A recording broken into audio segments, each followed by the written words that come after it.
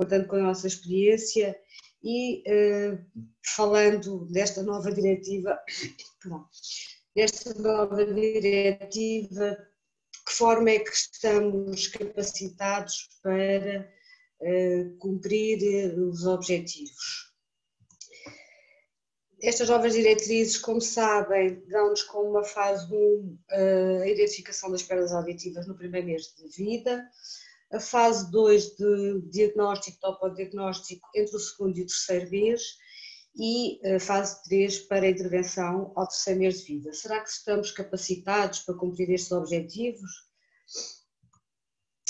Para nós audiologistas temos aqui novos desafios, novas oportunidades e eh, iria refletir um pouco sobre estas, eh, estas capacidades, sendo que nos devemos basear sempre no, nas nossas práticas, no princípio do cross-check, juntar e cruzar informações e testes eletrofisiológicos e uh, comportamentais, de forma a que uh, a tentarmos ter um mapa da audição destes nossos uh, destes nossos pacientes.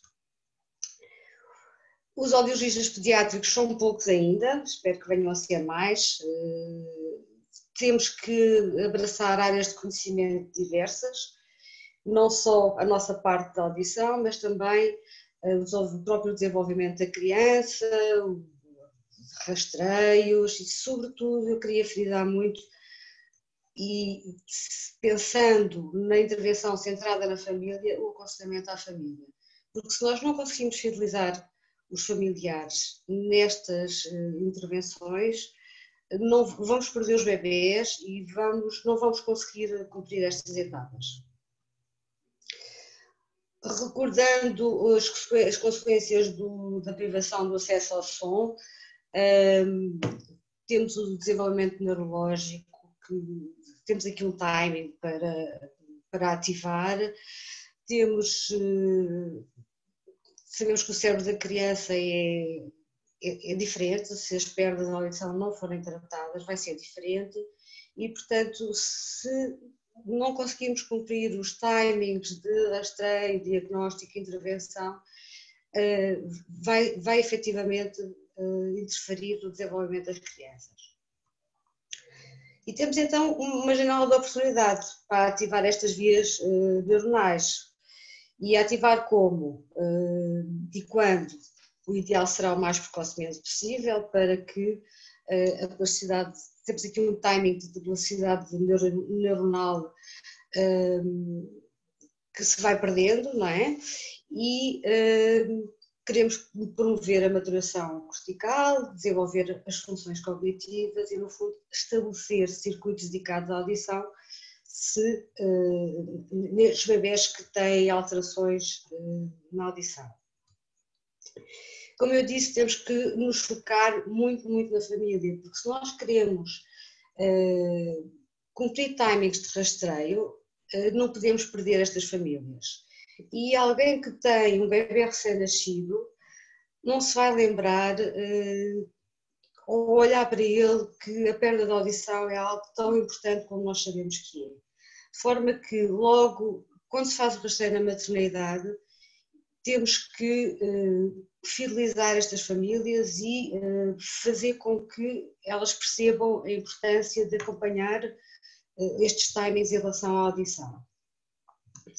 E então temos várias ferramentas, uma delas foi uh, criada pelo Grisi, não só o suporte em termos de, de papel, como toda a explicação que o audiologista pode dar no momento, a oportunidade de dar no momento do rastreio, fará com que as famílias possam perceber um bocadinho quais são as consequências de não seguirmos aqui uh, os momentos de intervenção, de forma a que não, não, não vamos perdê-los uh, nos follow-ups. Há diversos programas de rastreio universal, alguns só com autoemissões, outros com autoemissões e potenciais automáticos, seria o ideal. Temos que pensar sempre no custo de eficácia e realmente fazer as duas coisas, autoemissões e potenciais automáticos sai muito mais caro em todos os aspectos, tempo, de custo de equipamentos, portanto, eh, cada serviço eh, fará a gestão do protocolo consoante aquilo que conseguir. Pensamos sempre que vamos identificar lineares abaixo dos 3540 HL e algo que, do ponto de vista da audiologia, às vezes escapa e nós não podemos deixar que isso aconteça, será na repetição, mesmo que o bebê só tenha falhado um lado, teremos sempre que repetir os dois lados. Nós, no Centro Hospitalar Universitário de Lisboa Central, temos este fluxograma de, de, de rastreio para bebés saudáveis, fazemos autoemissões antes da alta, se passou, uh, colocamos a informação no boletim, se não for, portanto, damos a informação aos pais também, se falhou o rastreio vai repetir uma semana depois. E, dependendo de, uh, do resultado, será ou não encaminhado para diagnóstico. Já para os recém-nascidos de alto risco, uh, o fluxograma será diferente, teremos que esperar que as bebés estejam estáveis para poder fazer o rastreio e uh, aí fazemos autoemissões e potenciais automáticos, pensando sempre uh, nas neuropatias e nas perdas ligeiras e médias. Este é o nosso fluxograma para os bebês de alto risco.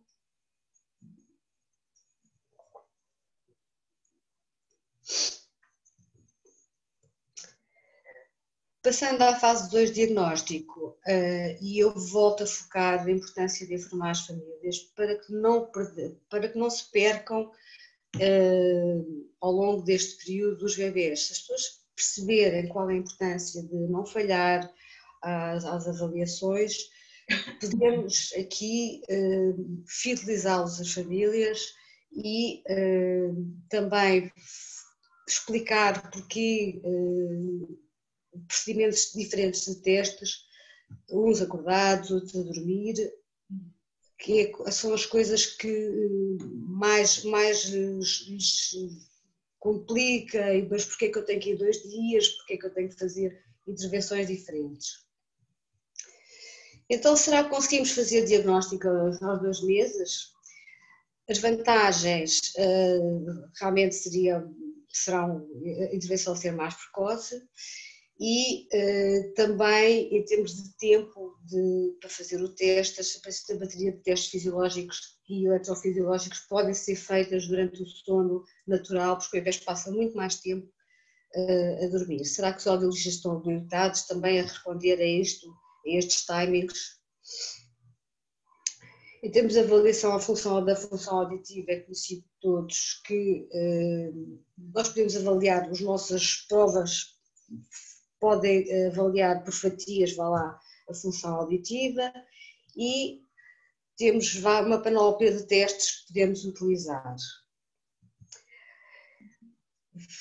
Falando um pouco de cada uma das nossas dificuldades em avaliar cada uma das, eh, em usar cada uma destas provas, esta nova diretiva da Joint Committee recomenda que, por exemplo, em relação ao tipanograma, se use uma sonda de 1000 Hz até aos 9 meses de idade. Eu digo-vos que é muito difícil fazer um tipanograma a 1000 Hz a um bebê de 3 meses, e porque já se mexe bastante, e portanto, o passar dos 4 meses iniciais, que era recomendado, depois para os 7 e agora para os 9, não vai ser fácil da nossa parte cumprir e ter informação do ouvido médio através de programa Amilert uh, uh, em bebés com menos de 9 meses.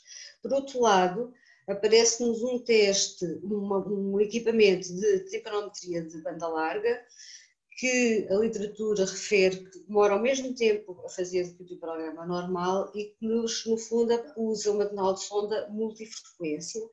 É, não sei se já alguém está a usar por cá, mas será uma ferramenta que nós temos uh, para o futuro.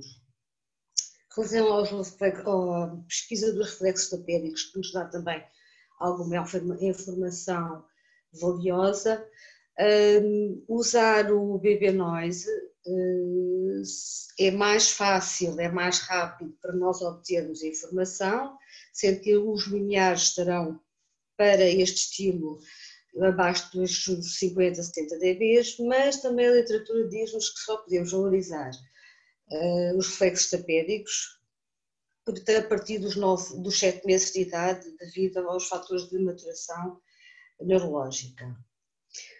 Em relação às autoemissões acústicas, temos várias eh, formas, quer as transitórias, quer os produtos de distorção, tem uma boa especificidade, uma boa eh, sensibilidade. Pensar sempre que uh, a maior sensibilidade para, este, para este teste anda à volta dos 2000, 2000 Hz e acima dos 30 decibéis. Portanto, temos aqui este contratempo.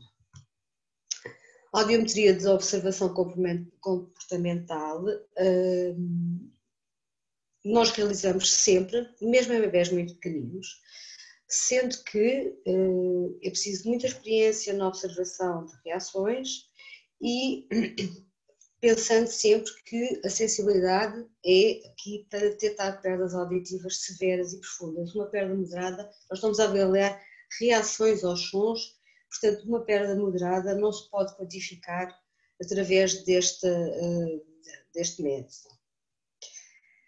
Já a partir dos 6, entre os 6 e os 30 meses, nós podemos usar audiometria de reforço visual, no entanto, temos o tempo, o timing contra nós, porque se queremos diagnosticar aos dois meses, os seis meses já é muito tarde. Em relação aos potenciais evocados auditivos, se nós usarmos cliques eh, sabemos qual é a zona eh, da cóclea cujos disparos eh, aparecem em primeiro lugar, portanto é sobre entre os 2 e os 4 kHz. No entanto, faz-nos,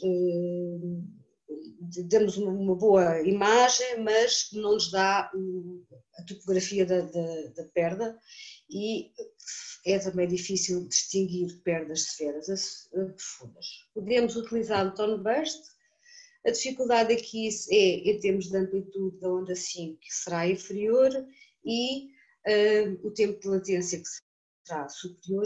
Portanto, aqui o que se recomenda é abrir a janela de análise para uh, podermos identificar a onda 5 no tone burst, consoante a frequência que estamos a estudar.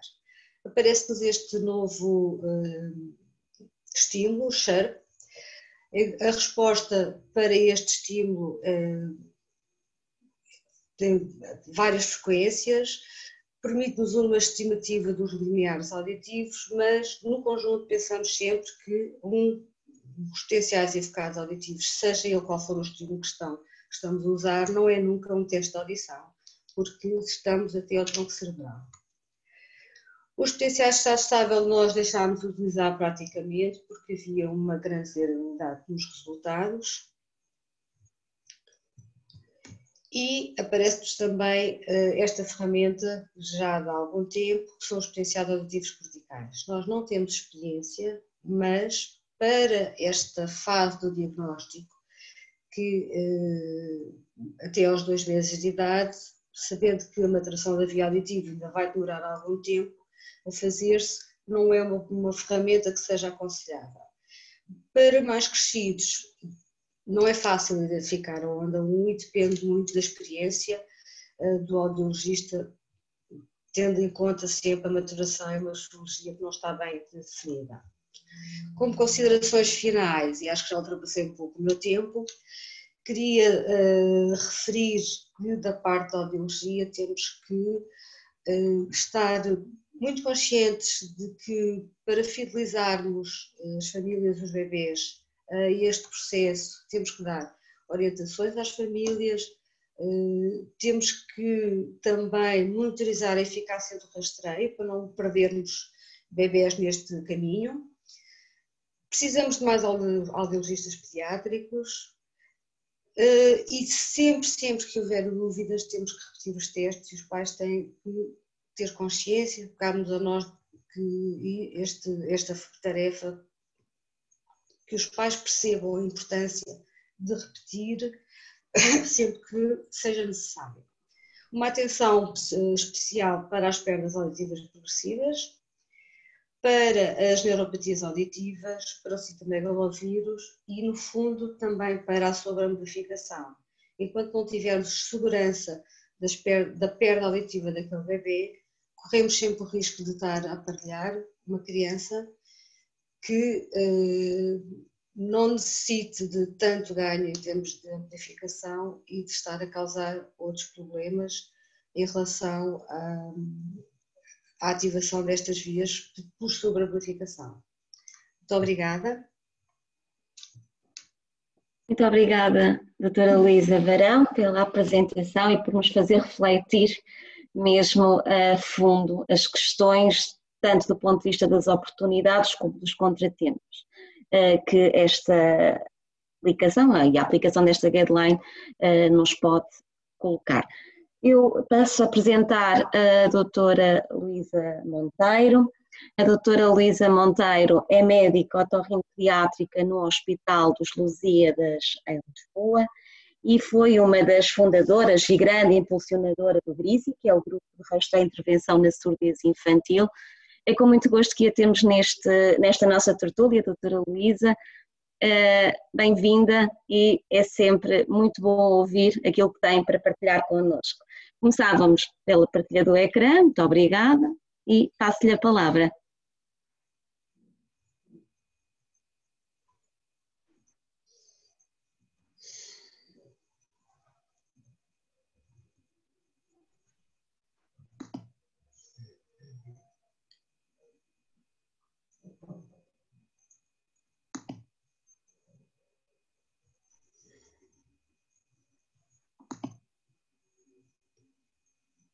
Já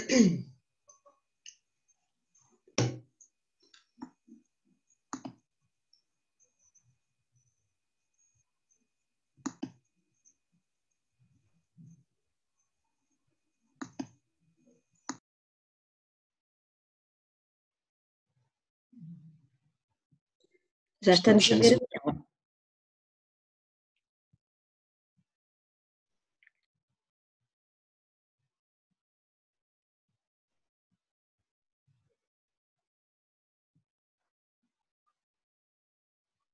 Doutora Luísa, não a estamos a ouvir, não sei se tem o microfone ligado.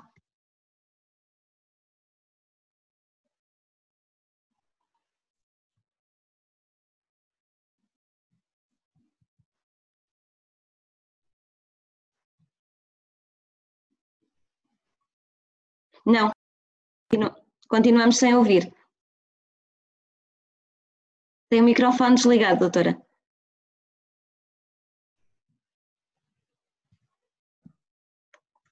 Ok. Agora já me ouve. Perfeito.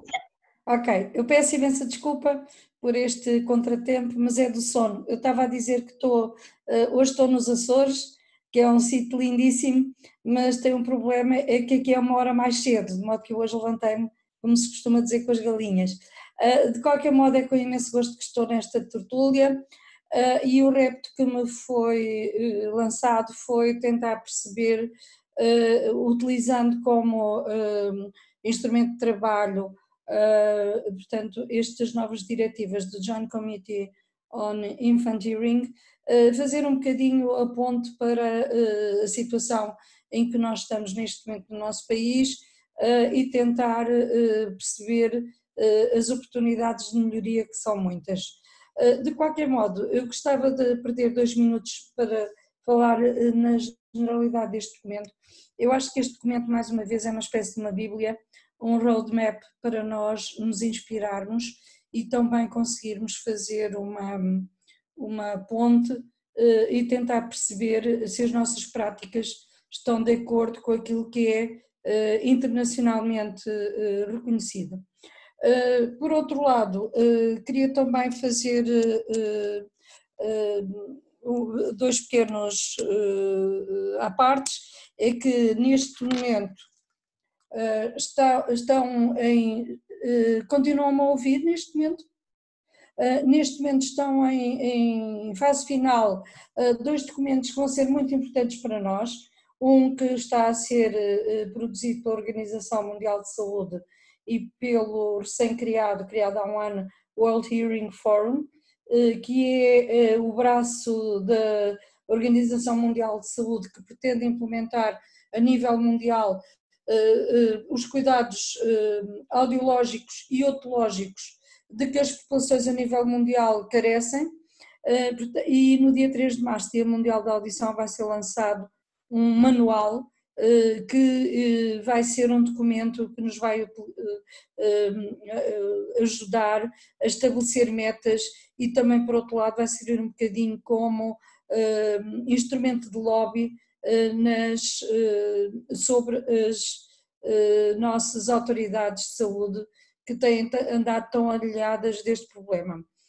Está também em fase final um outro manual feito pelo grupo europeu Screening, e que também é mais técnico e em certos aspectos vai entrar um pouco em contradição com algumas destas recomendações.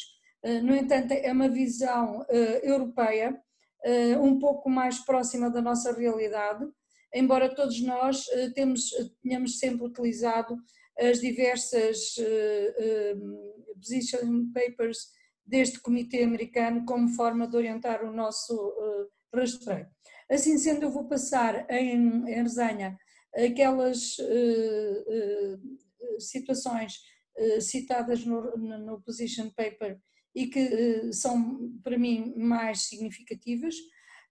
claro que isto é como as, como as propostas dos seguros e dos empréstimos dos bancos, a leitura das gordas e destes slides não dispensa a leitura pormenorizada do documento, porque ninguém pode ficar a conhecer o documento só por ter visto uns slides que alguém resumiu e tentou uh, uh, fazer o, uh, portanto, o highlight daquilo que achou mais importante. Eu recomendo, francamente, que todos leiam o documento e, assim sendo, falar um bocadinho do que é que para mim é mais significativo, a reafirmação, conforme a doutora Luísa Varão já disse, da precocidade do diagnóstico uh, e da intervenção, porque uh, às vezes nós estamos muito focalizados uh, no rastreio e no, no, diagnóstico, mas realmente o produto final, o outcome que nós temos que atingir é uma intervenção precoce alargada e que permita que a criança identificada precocemente, ou às vezes um bocadinho mais tardiamente, possa obter o seu máximo potencial, quer do seu ponto de vista académico, quer social quer entrada no, no mundo do trabalho, isto é, os aspectos uh, mensuráveis da sua realização total como cidadão.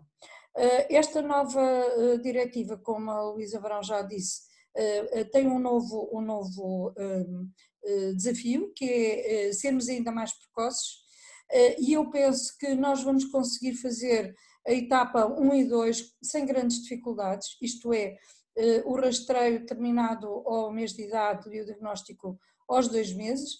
Eh, o problema vai ser passarmos para os três meses eh, a intervenção precoce, isto é, o reconhecimento de instrumentos de comunicação e de amplificação quando eles estiverem indicados, e todos nós sabemos que no nosso país é uma luta a prescrição de ajudas técnicas, da prescrição de próteses auditivas e outras ajudas à escuta, eh, e vai ser completamente impossível nos próximos tempos eh, atingirmos o objetivo número 3.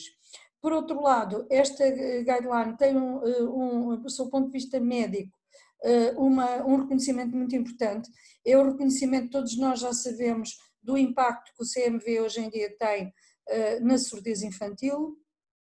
E, e por outro lado, existe uma tabela um bocadinho diferente e que é bastante exaustiva mas um pouco confusa acerca do, de, das metas de eh, acompanhamento e de diagnóstico para os diversos uh, fatores de risco. Uh, os fatores de risco foram agrupados de uma maneira mais, uh, mais apropriada, depois vamos ver à frente, e depois existe esta última consideração de que a FDA aprovou uh, o, os implantes cocleares uh, para, uh, para até aos, aos 12 meses de idade, mas não abaixo dos 12 meses de idade. No entanto, na Europa estas restrições não existem e a tendência que eu presumo que rapidamente vai ser também adotada pelos americanos à medida que a evidência científica for sendo acumulada, é que não exista um limite inferior a partir do qual se possam fazer implantes cocleares, mas que logo o diagnóstico seja, não seja duvidoso e as condições médicas da criança o permitam, se possa avançar para o implante coclear. Uh, isto já foi um bocadinho o que eu estive a dizer, uh, e depois há outras coisas que para mim são muito importantes e que estão aqui a vermelho. Não basta realmente ter acesso a, a serviços rapidamente, nós temos que ter em consideração as preferências da família, nomeadamente poderá haver famílias que têm o direito a considerar que o seu filho, identificado como, com uma deficiência auditiva, não entre para via da oralidade e possa ser educado através da língua gestual e no submundo cultural da, uh, da surdez. de qualquer modo, quando os pais, e a maior parte da minha experiência profissional ao longo destes anos, nunca me deparei com uma família que me procurasse não querendo oralidade para o seu filho, portanto a minha experiência é, um bocadinho sectária, eh, mas quando os pais enveredam por esse caminho, eh, teremos que lhes proporcionar eh, cuidados de alta qualidade. E alta qualidade significa uma adaptação protética adequada para as carências daquela criança e todos nós sabemos que é difícil muitas vezes fazer de uma única vez uma adaptação adequada e exige esforço, saber, experiência e paciência. Eh, achei piada porque, eh, tanto quanto me lembro da minha vida, é a primeira vez que vejo um documento, eh, um documento científico referenciar a paciência como uma das armas que nós temos que ter para acompanhar estas crianças. Por outro lado, o acesso aos implantes cocleares e a outras tecnologias tem que estar disponível logo a partir da altura do diagnóstico e todos nós sabemos como isto é difícil na, nossa, na nossa sociedade. Este ponto para mim também é extremamente importante e é tanto mais importante quanto é, nós temos uma, uma grande carência uh, neste momento, que é haver registros de dados. Estamos na segunda década, a passar para a terceira década do, do, do século XXI e ainda não conseguimos passar dos registros de papel ou registros em tabelas eh, Excel que não conseguimos partilhar com as autoridades de saúde. Eh, e devo dizer que eu neste momento voltei à carga com a Direção-Geral de Saúde, no, no sentido de, os eh, sensibilizarmos para que há necessidade de não só fazer, mas provarmos que fazemos bem e conseguir controlar longitudinalmente ao longo da vida da criança se os nossos esforços tiveram uma influência positiva ou negativa no outcome destas crianças. Todos nós sabemos que também há certas considerações que temos de ter, eh, técnicas, já não eh, políticas de saúde, mas técnicas que temos de ter em atenção, nomeadamente que o rastreio na sua primeira fase nunca devem ser feitas mais que duas, duas provas, eh, afastadas por algumas horas e de preferência antes da alta, da alta de, do hospital. Eh, quando a criança já teve alta e vem para fazer rescreening, que é sempre feito, quase sempre feito, eh, no mesmo sítio onde depois trabalham o resto dos audiologistas e o resto dos médicos de otorrino, eh, deve-se fazer uma, uma, um único rescreening e avançar logo para métodos de diagnóstico. Temos que ter em atenção também que é possível haver testes falsos negativos, eh, o grande influenciador dos testes falsos negativos, eh, permitam-me o desabafo, é eh, a incompetência. São pessoas que não estarão treinadas para fazer o, o rastreio. A má condição em que os aparelhos de rastreio, a má condição técnica em que eles podem estar, mas também uma situação clínica que todos nós reconhecemos, que é a neuropatia auditiva. A neuropatia auditiva pode falhar eh, durante eh, o período inicial do screening, pode ser um falso negativo, mas também temos aqui uma questão que cada vez é mais mais referenciada.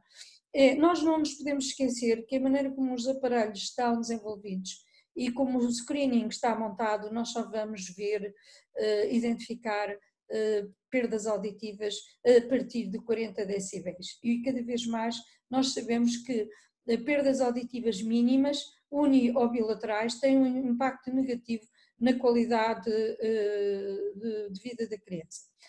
Por outro lado, vamos também falhar algumas das surdezes progressivas, nomeadamente esta, esta, esta guideline não dá grande ênfase a esta situação, mas todos nós sabemos na prática clínica e através daquilo que ouvimos as pessoas dizer nos, nos congressos, nesta tertúlia, que temos que estar muito pé atrás porque nós sabemos que na Europa e no nosso país há muitas crianças assintomáticas que nascem com CMV, que passam no rastreio e que ao longo da infância vão, vão uh, desenvolver perdas auditivas que podem ser progressivas e muito importantes. Daí o meu apelo é que se comprem equipamentos que tenham um registro, uh, um registro físico dos resultados de, das provas feitas durante o screening, porque a avaliação dos falsos negativos pode ser muito importante quer para a credibilidade do, do screening, quer até informação clínica relevante.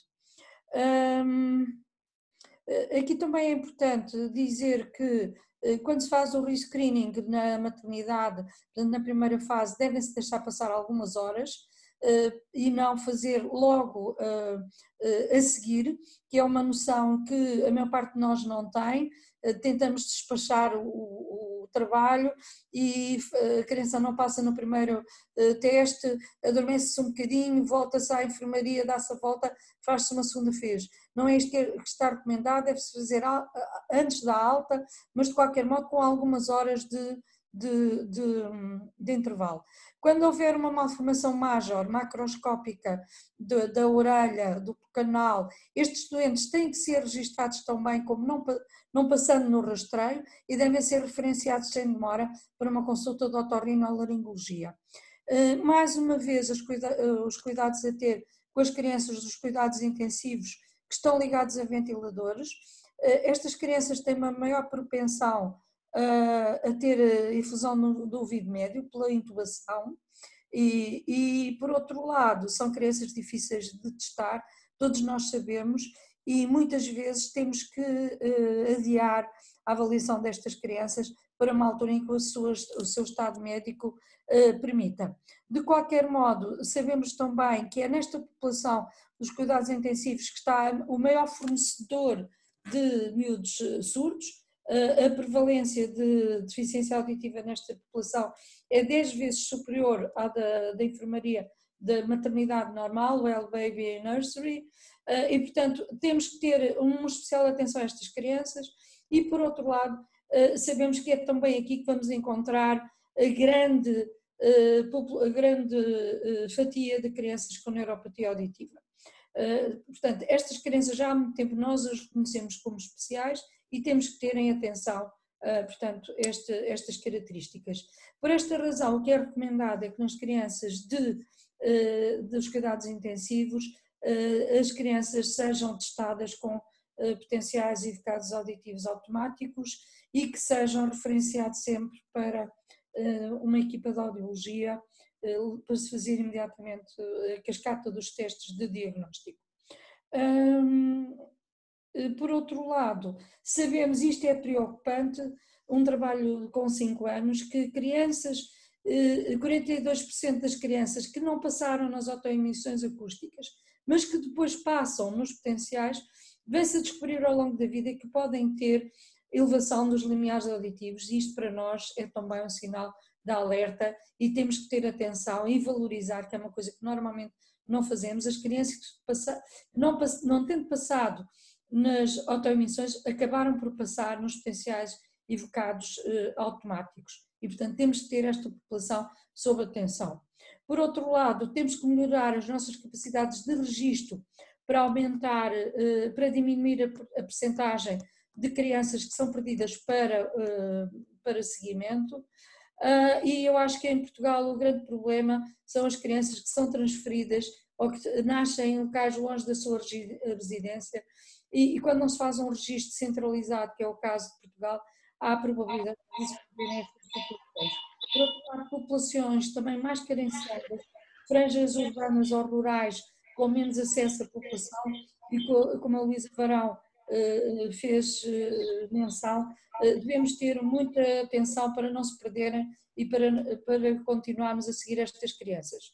Em relação ao diagnóstico, também já foi falado, de qualquer modo reforçar a importância dos potenciais eficaces auditivos, sobretudo os frequenciais, são muito importantes para nos ajudarem a fazer o perfil audiológico eh, da criança antes da intervenção, antes da adaptação protética.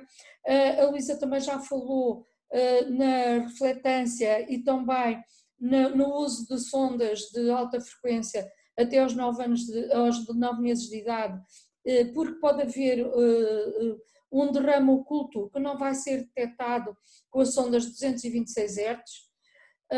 E sabemos também que eh, eh, as autoemissões acústicas não devem ser descartadas eh, na fase de diagnóstico. São importantes, eu diria que são menos importantes do que os potenciais eficados auditivos, mas na fase diagnóstica elas devem pertencer também ao grupo de testes que nós vamos utilizar. Uh, Permitam-me também re, uh, reforçar a ideia de que é possível fazer audiometria comportamental em crianças muito pequenas, eh, no entanto, a qualidade destes testes está diretamente, é diretamente proporcional à experiência das equipas e aos equipamentos e à tecnologia e à metodologia da observação. Uh, Deixa-me referenciar a minha grande amiga e professora Judith Wyden, que já esteve em Portugal a dar-nos formação uh, e que é, uh, era durante muitos anos defensora de audiometria comportamental, inclusive é com ouvidos separados, em crianças muito pequenas, desde que se usassem os computadores de inserção. Portanto, é possível fazer audiometria comportamental uh, fiável em crianças pequenas, mas não podemos ter a ilusão de que todos os centros uh, de audiologia têm esta capacidade de diagnóstico, porque não é verdade, não pode ser verdade, e mais uma vez reforçar a importância das equipas dedicadas e com experiência em idade uh, Em relação às, às neuropatias auditivas, toda a gente sabe que eh, elas estão associadas a condições eh, graves que ocorreram durante o nascimento, nomeadamente a extrema prematuridade, e também identificar a hiperbilirrubinémia, sobretudo aquela que obriga à sanguíneo-transfusão, como uma das, das, das causas major de neuropatia auditiva, que toda a gente sabe que é caracterizada pela presença de autoemissões acústicas ou potenciais microfónicos, que são funções fisiológicas da cóclea, e uh, uma má ou ausência definição da de, de onda 5, e também uma ausência ou um aumento limiar de, dos reflexos acústicos. A audiometria comportamental é muito importante nestas crianças, desde que elas consigam colaborar, porque muitas vezes estas crianças têm situações médicas complexas com condições neurológicas, eh, paralisias eh, cerebrais, atrasos de, de, desenvolvimento. Isso é um grupo de crianças muito difícil de testar e que obriga a equipas também altamente treinadas e, e, que são crianças desafiantes porque muitas vezes a audição é flutuante e vão dar resultados diferentes ao longo eh, da infância. referenciar a importância do crescente e crescentemente reconhecida dos potenciais corticais, nós não temos experiência dos potenciais corticais, ter a noção, mais uma vez, que a audição é uma função cortical e, portanto, provavelmente vai ser mais bem eh, estudada quando conseguirmos utilizar um, com, uh, com fluência medidas da função cortical. As, as crianças, todos sabemos, com fatores de risco têm que ser várias vezes testadas ao longo da vida. Nesta guideline existe um, um, um quadro um bocadinho difícil de interpretar acerca das idades, mas por outro lado eu queria falar-vos da maneira como estão arrumados os fatores de risco. Os fatores de risco são reconhecidos em três grandes grupos.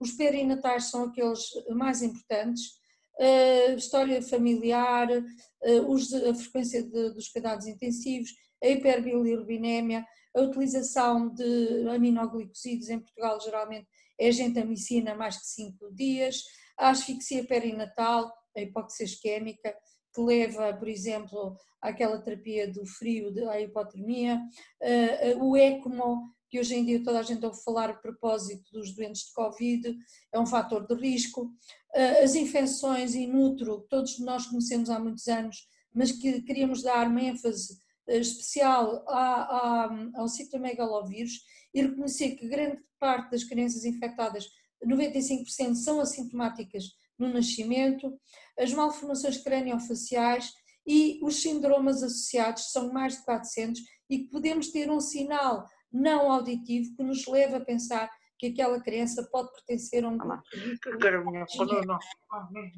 A meningite e a encefalite, todos nós também já estamos perfeitamente avisados para a sua importância. Eu queria acreditar que em Portugal nenhuma criança tem uma encefalite ou uma meningite, sobretudo se for uma meningite bacteriana, pneumocócica, e que vai ter alta do hospital onde esteve internado sem fazer uh, testes fisiológicos uh, na unidade de, audiologia, porque nós sabemos que a meningite é uma corrida contra o tempo e se provocou surdez pode rapidamente dar uma calcificação, uma fibrose da cóclea e impedir que se faça aos seis meses pós-diagnóstico, por exemplo, um implante coclear. Uh, o, trauma, o, trauma, o traumatismo craniano importante em qualquer época da vida pode acontecer e para mim um fator muito importante que é a desconfiança da família. Cada vez que me chega uma família ou uma criança referenciada, por exemplo, pela escola, porque acham que ela não bem, nós não devemos desvalorizar as queixas e devemos imediatamente desencadear a fase diagnóstica, qualquer que seja a idade da criança e qualquer que tenha sido o resultado obtido durante o período perinatal eh, no, no rastreio. Uh, por outro lado, introduzir aqui um, um, um, rastreio muito importante que eu gostaria que em Portugal nós começássemos a fazer, mas que ainda é, mesmo a nível da Europa, um assunto controverso, que é o protocolo de eh, rastreio universal pré-escolar. Eh, se calhar, Margarida e Carla, poderíamos fazer uma tertúlia só dedicada a este tema, o rastreio pré-escolar, prós e contras, sem falar, sem termos cá aquela senhora de, RTP1 de, de, prós e contras, mas acho que é um assunto suficientemente importante para nós nos começarmos a, a debruçar. Outra coisa também muito importante é as tecnologias de informação que nos vão permitir, de uma maneira completa, universal e nacional, comparar os resultados, fazer um controle de qualidade e conseguir, conseguir seguir as crianças provavelmente até aos 18 anos de idade, quando elas deixam de ser crianças e passam a ser adultos. Uh, isto é extremamente importante, é tão importante como termos uma fase de rastreio hospitalar bem montada. Menção a uma plataforma que está a ser desenvolvida pela, pela, pela e que se chama Evolu. Eu estou a ver duas pessoas na assistência ligadas esta, ao desenvolvimento desta plataforma e que eu gostaria que rapidamente pudesse ser apresentada e que todos pudéssemos partilhar através dessa plataforma eh, os nossos eh, resultados do rastreio.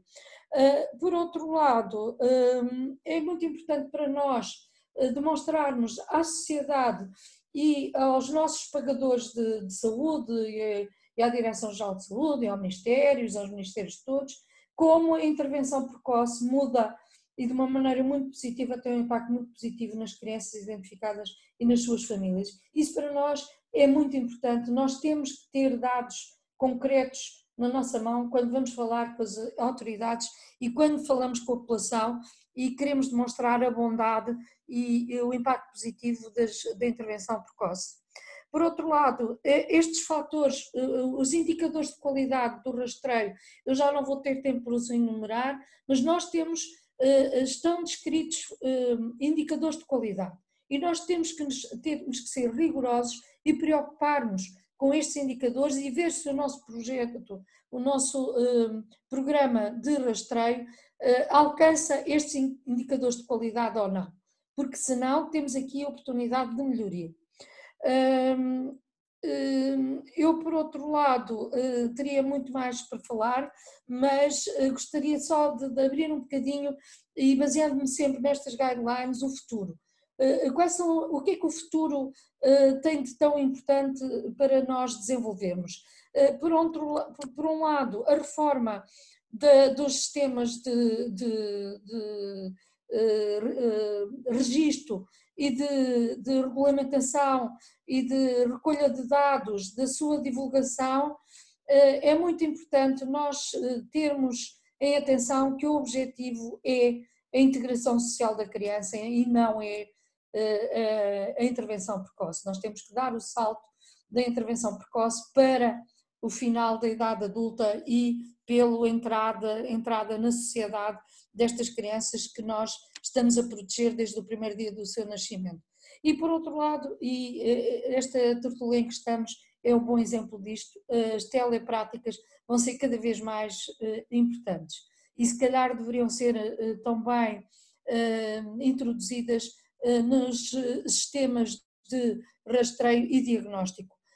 Partilhar experiências, ajudar um centro que tem mais dificuldades a fazer os seus exames diagnóstico ou de intervenção. Hoje em dia já é possível fazer, por exemplo, programação à distância de, de crianças implantadas e de adultos implantados. Eh, por exemplo, no sítio onde eu estou, uma ilha uh, do arquipélago dos Açores, pode haver muita importância que alguém que está no continente faça uma programação à distância, uma reprogramação de um, de um doente implantado, ou de uma prótese auditiva, ou uh, uma reavaliação, por exemplo, por um terapeuta da fala eh, que dá apoio ao seu colega que está a, a, reabilitar uma criança e que possa não ter tanta experiência, eh, são realmente práticas que nós temos que valorizar no futuro. Eu peço desculpa de me ter alongado, eh, ficarei à vossa disposição para perguntas futuras e vou-me, vou-me, vou retomar o meu silêncio. Muito obrigada. Muito obrigada, doutora Luísa, por esta explicação rigorosa do pela partilha uh, do seu saber e da sua experiência, que efetivamente é muita. Eu alerto e chamo a, atenção de todos os participantes que podem colocar questões através do chat, alguma dúvida, alguma uh, questão que gostariam de ver mais discutida ao longo da tertúlia, podem fazer a, a vossa questão através do chat, que depois no final entrará na discussão. Passo agora a apresentar o Dr. Gonçalo Nunes, que é audiologista no Centro Hospitalar de Lisboa Ocidental, no Hospital Egas Muniz, e está responsável pelo programa de implantes cocleares. Também é audiologista na UIDEX, como trabalha na reabilitação um, pediátrica. Gonçalo, quando quiseres, podes partilhar o ecrã. Okay. Bom dia a todos. Uh, okay. Aqui organizar isto aqui, só um bocadinho. Estão-me a ouvir? Conseguem-me ouvir? Sim, perfeitamente. Só tens okay. em modo apresentação. Já está. Sim, já está, já está. Sim. Ok. Muito bem, antes de mais, uh, parabéns à professora Carla Bates e à professora Margarida Serrano pela, pela organização desta, desta tertúlia uh, e obrigado pelo, pelo convite. E também parabéns à, à doutora Lisa Monteiro e à doutora Lisa Barão pelas excelentes apresentações que fizeram antes e uh, eu vou seguir agora a falar um bocadinho do que é que é, no fundo, como é que se enquadra a fase 3, eh, a intervenção, que não é só, e é cada vez menos, não só uma intervenção audiológica, ela é muito mais do que isso, e a doutora Luísa Monteiro falou muito disso uh, agora, mas no fundo começa muito pela habilitação auditiva, uh, pela parte audiológica, uh, e vou enquadrá-la um bocadinho nas normas novas do, das guidelines de 2019. e vou começar por. E estamos a andar. Ok. E vou começar assim muito rapidamente por falar como é, o que é que foi o, o, nosso ponto de partida até aqui, porque convém sempre lembrarmos tudo aquilo que se fez eh, até antes ainda muito antes de eu começar a trabalhar, o que é que, o, o que, é que acontecia. e, o, que acontecia há 20 e tais anos atrás, uh, e não foi uma realidade assim tão antiga quanto isso, é que em perdas severas a profundas, elas eram muitas vezes uh, identificadas apenas por volta dos 2, 3 anos de vida, e em termos de plasticidade auditiva, sabemos que se perde uma janela temporal uh, enorme, e as perdas mais pequenas, as ligeiras e as até moderadas dirão por vezes, eram identificadas muitas vezes em idade escolar e pelo, pelos piores motivos, uh, com todo o atraso que já vinha, que já vinha aí.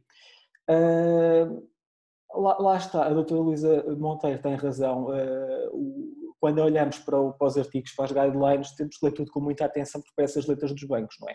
E o, o diabo está nas entrelinhas às vezes, porque há muitos, muitos detalhes lá, às vezes nem pensamos neles, Uh, e, e, às vezes os detalhes quase que se contradizem. Quando nós, lemos, quando nós lemos as guidelines com atenção, às vezes quase que há contradições de um, de um tópico para o outro. O certo é que elas são muito completas e eu acabei por não ler as de 2019 e pegar nas 2007 e nas de 2000.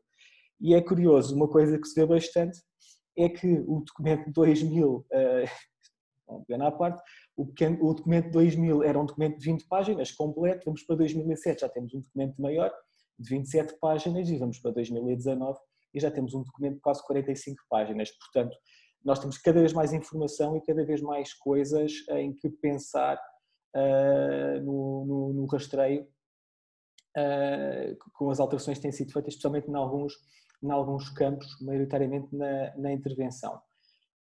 E fazendo só aqui uma passagem uh, quase histórica e muito rápida, um, o que é que nós tínhamos nas guidelines de 2000? Uh, eh, começou a ser óbvio que todos os recém-nascidos deviam ser rastreados através de métodos fisiológicos, ou seja, portanto, ou otimizações ou potenciais de rastreio. Durante o primeiro mês de vida, há aqui um é vago e aponta-se apenas para o primeiro mês de vida e não há uma divisão óbvia entre a utilização, isto em 2000, nas regras 2000, não há uma divisão óbvia entre a utilização de automações e potenciais.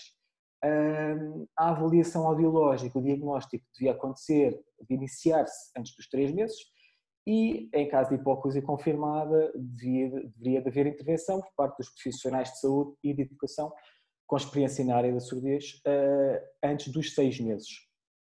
E, portanto, foi quando começámos a ter esta, esta janela temporal do 136 Uh, e como é que era a intervenção segundo as guidelines de 2000? O que é que se recomendava? Era que, logicamente, o tempo entre a confirmação da hipocúsia e a, e a adaptação de aparelhos fosse uh, minimizado em relação àquilo que, que era previamente, fosse o mais minimizado possível. Uh, e sabia-se que, e isso continua a ser muito válido ainda, hoje em dia, há coisas que se mantêm muito válidas, uh, que nós temos um processo de adaptação a correr bem eh, com sucesso se eh, as coisas estão a fazer sentido, a informação que temos daquele paciente está a fazer sentido, ou seja, se os lineares, todos os lineares fisiológicos prévios que obtivemos e os lineares comportamentais por, eh, por VRA, por, por ROC, que obtivemos ali por volta dos 6, 7, 8 meses de vida, estão de acordo, é sinal que a coisa está no, no bom caminho e as coisas estão a fazer sentido.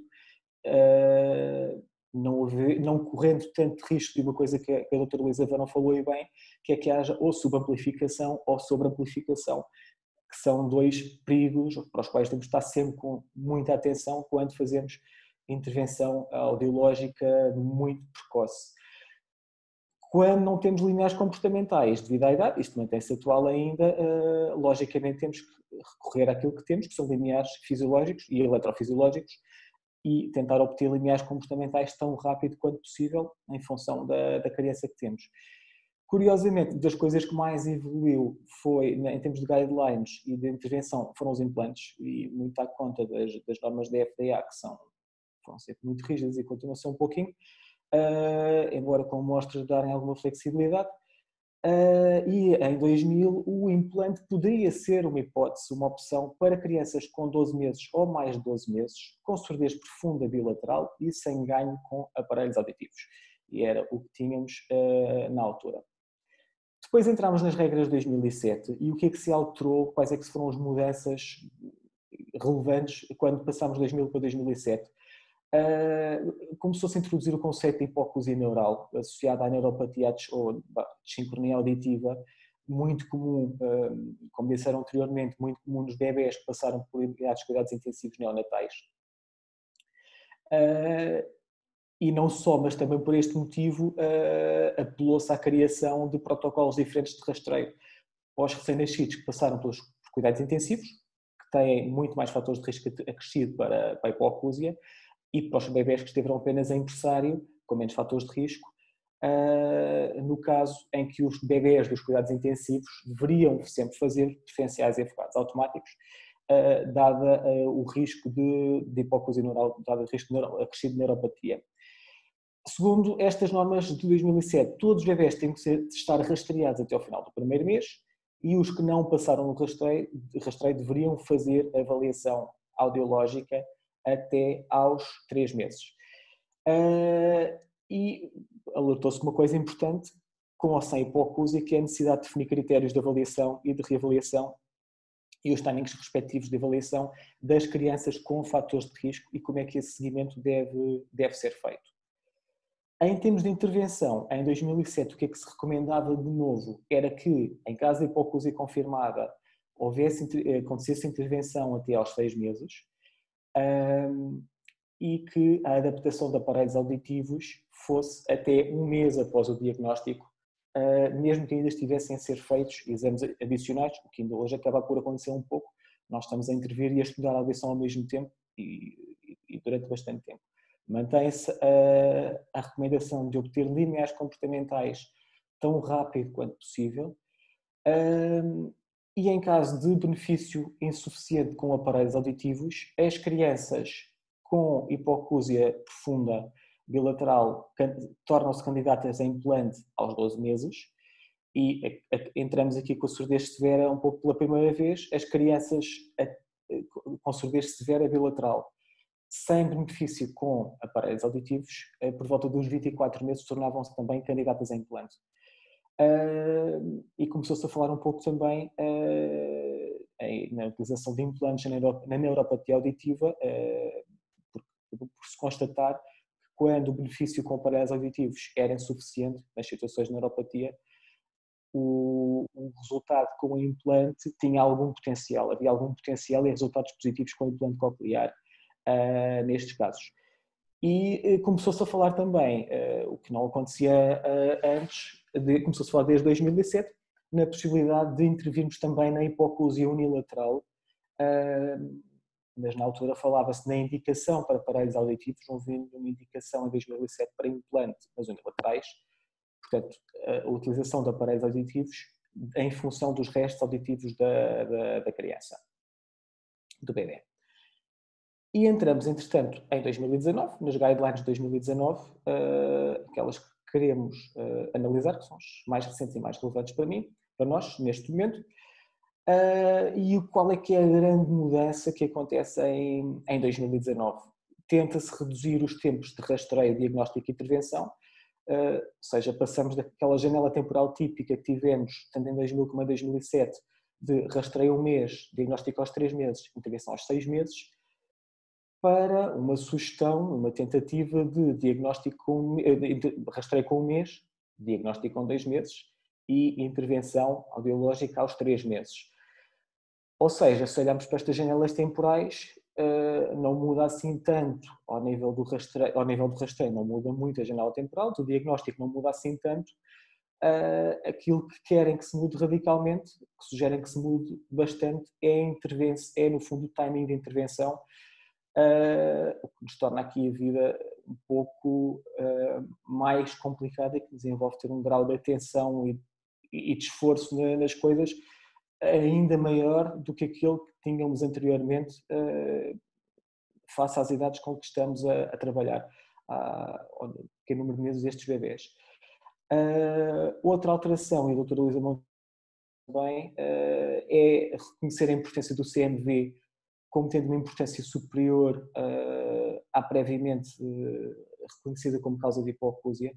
Uh, há muito mais bebés com surdez por causa do CMV do que se considerava anteriormente.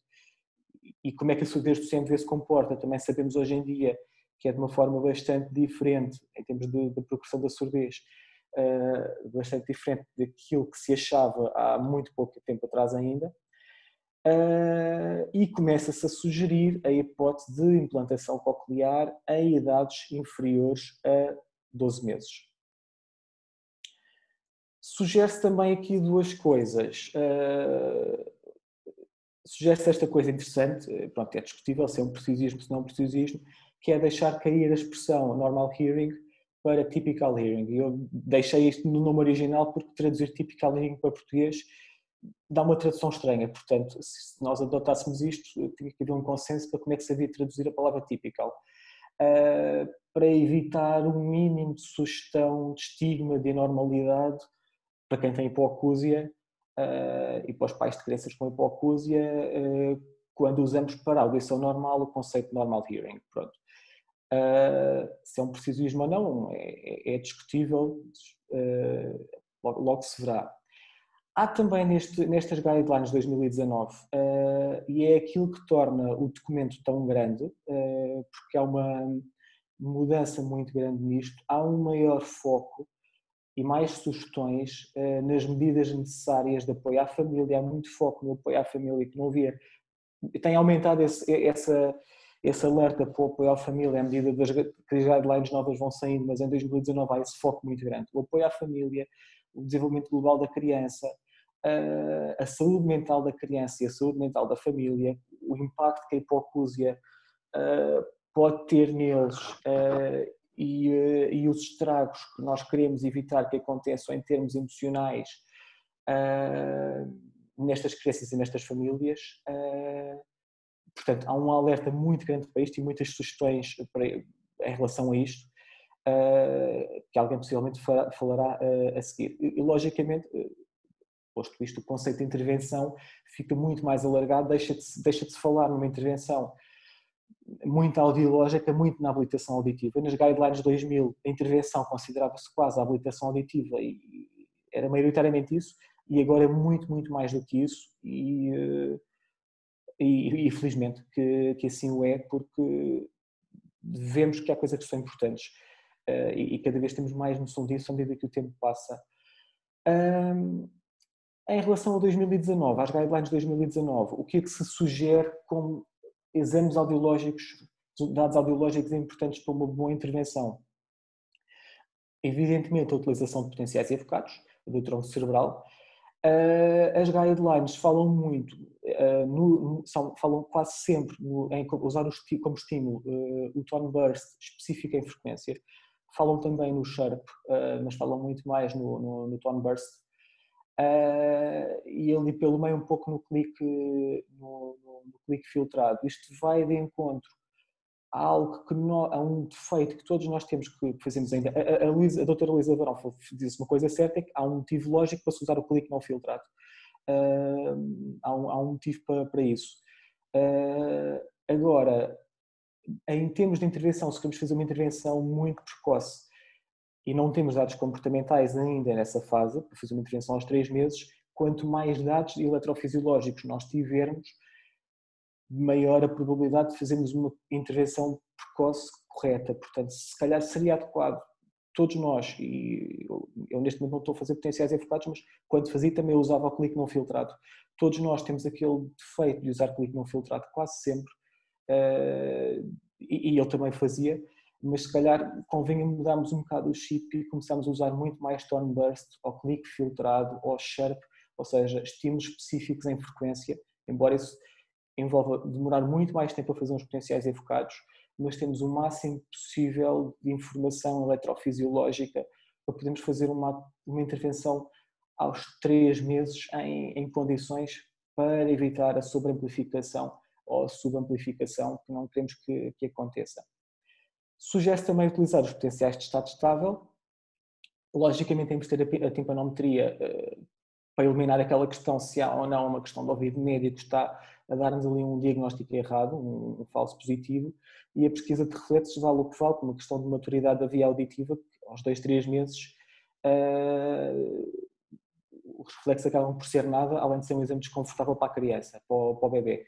As automações continuam a ser muito relevantes, não só no rastreio, mas porque, tal como disseram anteriormente, uh, os potenciais evocados, especialmente os, de, os automáticos, têm alguma dificuldade em detectar, às vezes, não falsos negativos nas perdas ligeiras e as automações acústicas detectam melhor as perdas ligeiras. O risco de falsos negativos com as automações é menor, portanto, são um dado importante e até para, para contrapor com os potenciais na questão da, das neuropatias. E o nosso exame Gold Standard, o nosso exame mais importante de todos, uh, continua a ser a audiometria infantil por uh, visual reinforcement, uh, por reflexo de orientação condicionado, continua a ser o gold standard, porque é aquilo que nos vai dar informações mais precisas sobre o que é a audição real da criança nas frequências todas, mesmo que seja numa fase inicial em, em campo livre, é aquilo que nos vai dar melhores informações, informações mais precisas, lá está, sendo bem feito e tendo uma, um bebê operante, uh, para termos boas informações. Lá está aqui a audiometria infantil, tem aqui o problema, nós temos que intervir aos três meses, sugerem-nos que façamos a intervenção aos três meses e nós dificilmente conseguimos uma audiometria infantil, dificilmente conseguimos, até podemos conseguir começar a condicionar a criança uh, no, ao nível do reforço, mas dificilmente conseguimos obter limiares aceitáveis, limiares precisos, antes dos 7, 8 meses de vida de uma forma coerente e num bebê e, no bebê com desenvolvimento bastante, bastante aceitável. A audiometria por observação, a doutora Luísa Varão falou nisso e, e, e, disse uma coisa importante, ela vale o que vale, uh, dá-nos algum jeito, dá-nos algumas luzes, mas foi daquelas coisas com as quais o rastreio auditivo, quando apareceu há 20 anos atrás, de uma forma padronizada, quis acabar por uh, dar-nos algumas luzes em relação às respostas a limiares na surdez severa profunda e não nos serve para nada nas perdas ligeiras e moderadas, porque eh, porque não dá para quantificar lineares. Um, o que é que temos de ter em atenção com os dados audiológicos que, que obtivemos, segundo as normas de 2019? Muito relativo aos potenciais de estado estável, que acho que é um consenso entre todos, que valem o que valem, porque são uma boa ferramenta e são uma ferramenta cada vez melhor, porque os algoritmos que, que usam são cada vez melhores e quem faz potenciais de estado estável também os sabe fazer cada vez melhor. Portanto, as respostas que temos no estado estável começam a ser mais fiáveis do que eram antes. Ainda assim, a distinção entre uma audição normal uh, e uma hipocusia ligeira muitas vezes é difícil. Uh, aquilo que é normal dá uma ligeira e aquilo que é uma ligeira pode dar uma coisa perto da normalidade, portanto vale o que vale. Além disso, os, ainda no, no estado estável, um, os limiares dos prematuros, eh, os limiares que obtivermos em potenciais de estado estável, são mais elevados do que os bebés de termo, até por volta dos 18 meses de vida. Por acaso, nos guidelines, quando li, era um bocado dúbio se esta questão de os limiares só serem dos limiares dos prematuros só se equipararem aos dos bebés de termo aos 18 meses de vida, se isto só se aplicava aos de estado estável ou se aplicava também aos potenciais normais, aos potenciais de tronco cerebral eh, convencionais. Era um bocado dúbio, mas aquilo apontava mais para os potenciais de estado estável. E vamos considerar que é isso. Uh, também temos de ter muito cuidado, especialmente por causa das perdas ligeiras e moderadas de bebés que chumbaram no rastreio e que no diagnóstico uh, se obteve perdas ligeiras moderadas, porque muitos bebés ou têm uh, efusão do ouvido médio por, por causa do internamento, né, nos cuidados intensivos e dos equipamentos, tal como a doutora Luísa Monteiro referiu, mas não só esses, mesmo muitos bebés de ter, muitas vezes têm, uh, e sem fatores de risco, uh, têm restos de líquido amniótico retido no ouvido médio, uh, o que vai gerar falhas no rastreio. Se a coisa se mantém durante um tempo demasiado grande, e demasiado grande, estamos a falar de dois meses, se é aquilo que nos pedem para fazer, para ter um diagnóstico feito, facilmente temos um falso positivo eh, em termos de surdez ligeira e, e, e temos de ter algum cuidado com os encaminhamentos para a intervenção nas perdas ligeiras, moderadas de grau 1, face a estes riscos destes possíveis falsos positivos.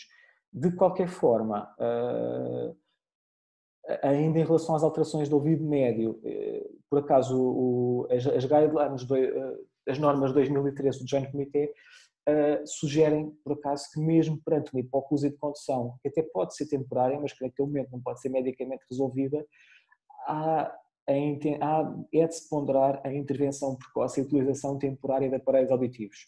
É uma coisa que poderá acontecer uh, no, no, melhor dos mundos, em que existem todas as condições uh, em termos de ajudas técnicas.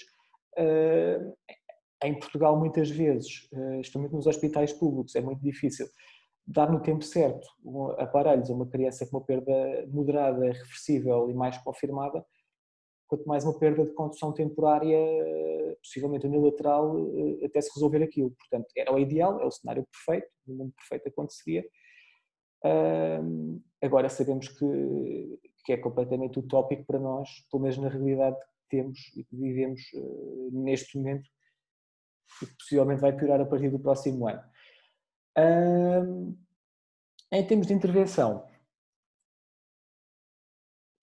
desculpem, em termos de intervenção, eh, das segundas guidelines de 2019, há um alerta muito grande para que as famílias tenham consciência da necessidade de reavaliação audiológica frequente, ou seja, as coisas não acabam no diagnóstico, não está tudo feito em termos de avaliação até ao diagnóstico, e a partir daí é, é a intervenção, é colocar aparelhos, intervenção a vários níveis educativos e, eh, e, na, e nas outras vertentes.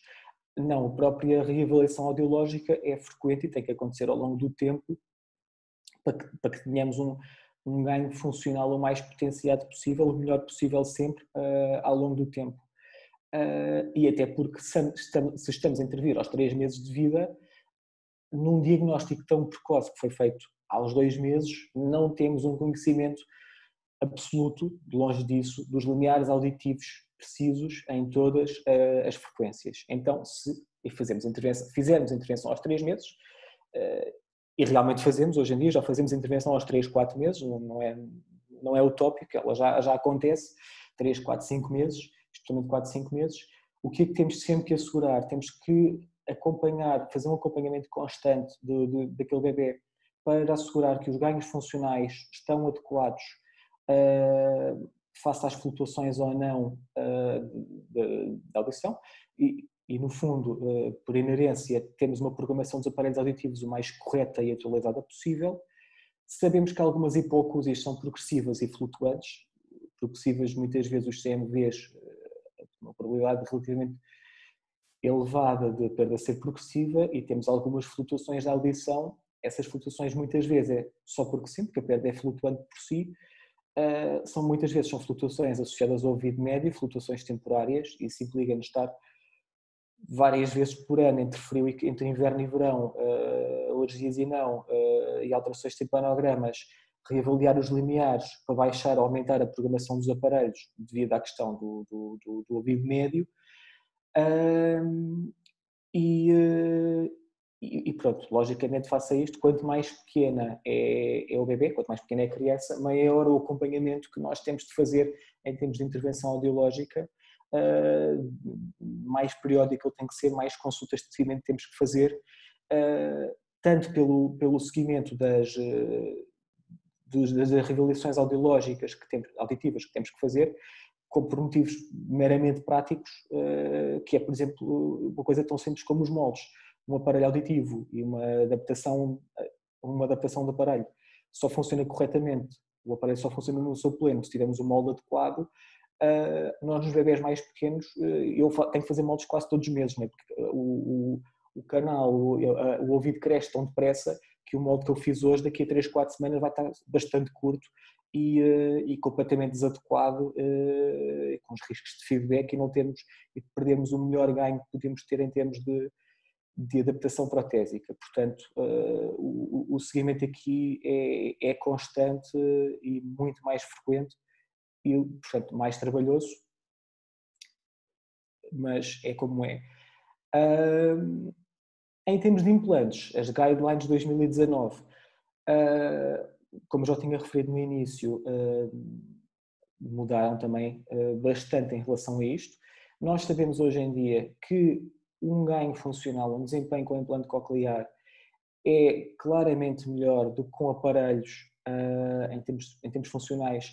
Nas perdas profundas é uma não questão, obviamente, e nas perdas severas, na, nas neurais de grau severo, nós cada vez temos mais dados de que o desempenho funcional com implante uh, discriminação auditiva, audição em ruído.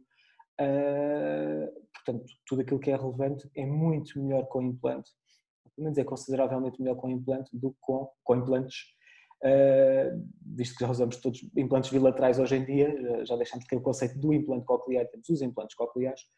Uh, é muito melhor com implantes do que com aparelhos mesmo na, na, nas severas.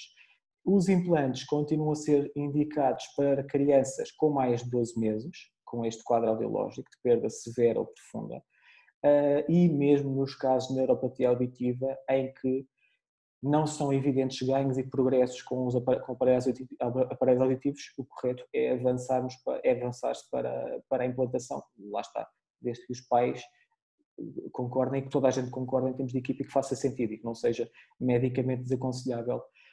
Uh, em relação a tudo, mas muito na, no, no, trabalho que fazemos hoje em dia com implantes, mas muito do trabalho que já se fazia antes nas consultas de, de surdez infantil e nas consultas de reabilitação auditiva, tem que haver um trabalho constante e as, uh, e as guidelines falam muito nisso, na equipa multidisciplinar, que é cada vez mais alargada, uh, tem que haver um trabalho de equipa multidisciplinar constante em que os pais têm que estar envolvidos, uh, no fundo os pais fazem parte dessa equipa multidisciplinar, no sentido de se compreender o mais rapidamente possível se e quando há necessidade de implante coclear uh, e, e, o que é que há para acrescentar àquela criança, não só em relação ao implante, mas em relação a tudo, o que é que falta ainda fazer e o que é que não está bem e, uh, e trabalhar isso o melhor possível e mais rapidamente possível de forma a que tenhamos um desenvolvimento global ótimo.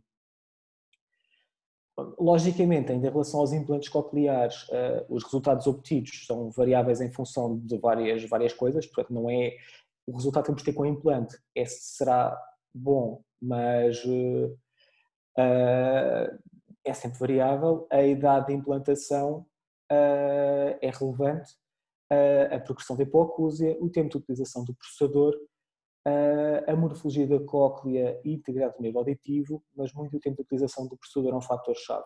Bebés, crianças que usam processador 5, 6 horas por dia, logicamente não vão ter um desempenho funcional tão bom em termos de discriminação como um bebê que usa o implante o dia todo e nós isso hoje em dia, em termos de audiologia e terapia da fala, já conseguimos uh, controlar muito bem esses tempos de utilização e andar sempre em cima dos pais por causa disso. Uh, depois há as questões cirúrgicas, se o implante está corretamente posicionado ou não, há a questão de haver ou não alterações de neurodesenvolvimento, a qualidade das programações dos mapas de implante que têm que ser o mais perfeitos possível, não é só ligar o implante, o envolvimento da família a dedicação da família e, a logicamente, ter uma intervenção intensiva muito baseada na audição. Não só, mas ela não deixa de ser baseada na audição, para termos um bom resultado funcional. Ah, eu concluo ah, quase com o título, se temos oportunidades ou contratempos, mais oportunidades ou mais contratempos ah, na, nas guidelines de, de 2019, estas guidelines mais recentes, e sabemos que aquilo que mudou mais é que a intervenção, a adaptação de aparelhos, a intervenção audiológica, aconteça o mais rapidamente possível, por volta dos 3, 4 meses. Eu aqui coloquei 3, 4 meses, porque as guidelines falam em 3 meses, 3 meses, 3 meses, mas depois no final já falam em 4 meses, e depois, uh, afinal, fica ali tudo um bocado, afinal, não tem que ser 3, pode ser 4. Uh, eh, não são assim tão, tão, tão, tão rígidos. Uh, portanto, consideramos que este tempo de intervenção, as guidelines apontam para 3, 4 meses, ou tão rápido quanto possível após a confirmação da hipocúsia e não existindo nenhuma contraindicação médica para fazer adaptação de, para fazer a intervenção audiológica primária, ou seja, a adaptação de aparelhos auditivos. Depois levantam-se aqui várias questões, eh, ou seja, se estamos a, a, a, colocar aparelhos tão cedo, a intervir tão, tão cedo, devemos fazer isso em todos os graus de hipocúsia, eh, ou seja, nós podemos fazer isso com alguma confiança numa perda severa, numa hipocúsia severa ou profunda, porque nós sabemos que não é altamente improvável que uma surdez profunda ou severa tenha sido um erro e passemos disso para uma audição normal. Quando muito, à medida que o bebê cresce e desenvolve, nós acabamos por concluir que aquela surdez profunda afinal é severa, ou que aquela surdez severa afinal é moderada, mas pronto, não houve um erro, há um ajuste que nós temos que fazer com o tempo. Agora, estamos a receber cada vez mais cedo e a falar em, em fazer isto mais cedo, uh, intervir, intervir, intervir, e às vezes estamos a, a, a intervir com, aos três meses com perdas ligeiras, com limiares de 40 decibéis, nos potenciais feitos ao, ao, com um mês ou dois. Será razoável intervir aí nesses casos tão cedo? Ou nas perdas ligeiras não seria razoável esperar mais um bocadinho, até pelo menos mais dois ou três meses, para termos uma maior confirmação de que aquele diagnóstico está correto e que não há ali um falso, uh, um falso positivo, um diagnóstico falso positivo. Uh, mas é uma questão é, e, é, e é, discutível e lá está, cada caso é um caso.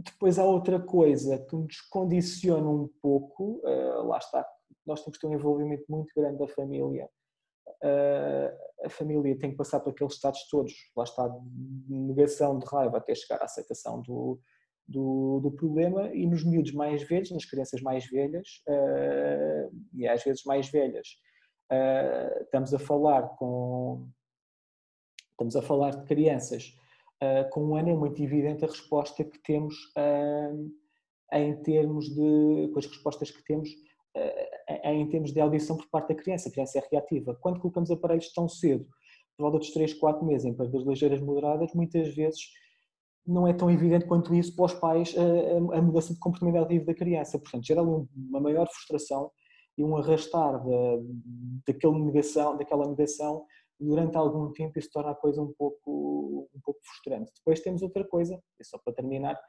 uh, que é o, o, que andamos ali uh, e temos que pensar nisso também, temos que ter um cuidado enorme com o seguimento que fazemos à família, porque andamos ali, termos de fazer uma intervenção aos três meses, implicou que a criança tenha feito N rastreios no primeiro mês, N, N exames de diagnóstico aos dois meses, já esteja assim encaminhada para aparelhos, já esteja por aparelhos aos três meses, portanto a criança já fez tantos exames e tanta consulta aos, eh, aos três meses de, de, de vida, que às vezes os pais têm um desgaste enorme e isso tem que ser sempre tido em atenção, porque no fundo temos que gerir a coisa uh, com pinças para que, no fundo, para que aquela família não descampe naquele momento uh, a bem da criança.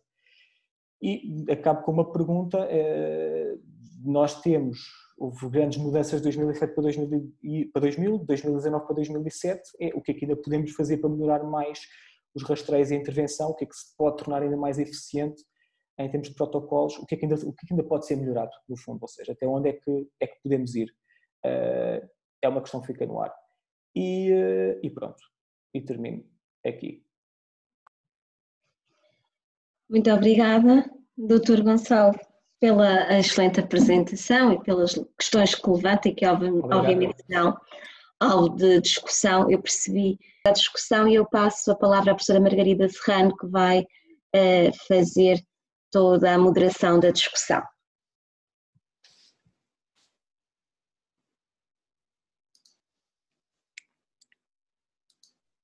Margarida, liga o microfone, por favor. Bom dia a todos novamente. Eh, eu peço ajuda a todos para fazer a moderação, estamos cá todos para falarmos. Temos, eh, em si, eu estive a ouvir com muita atenção e, e penso que as comunicações se hum, completaram e mesmo o facto de não conseguirmos ter aqui a, no, a psicóloga que convidámos por motivos de saúde, portanto só mesmo fosse maior, uh, várias pessoas, e eu, eu se calhar começava por aí, várias pessoas abordaram o tema, como foi o caso da doutora Luísa Barão e do doutor Gonçalo.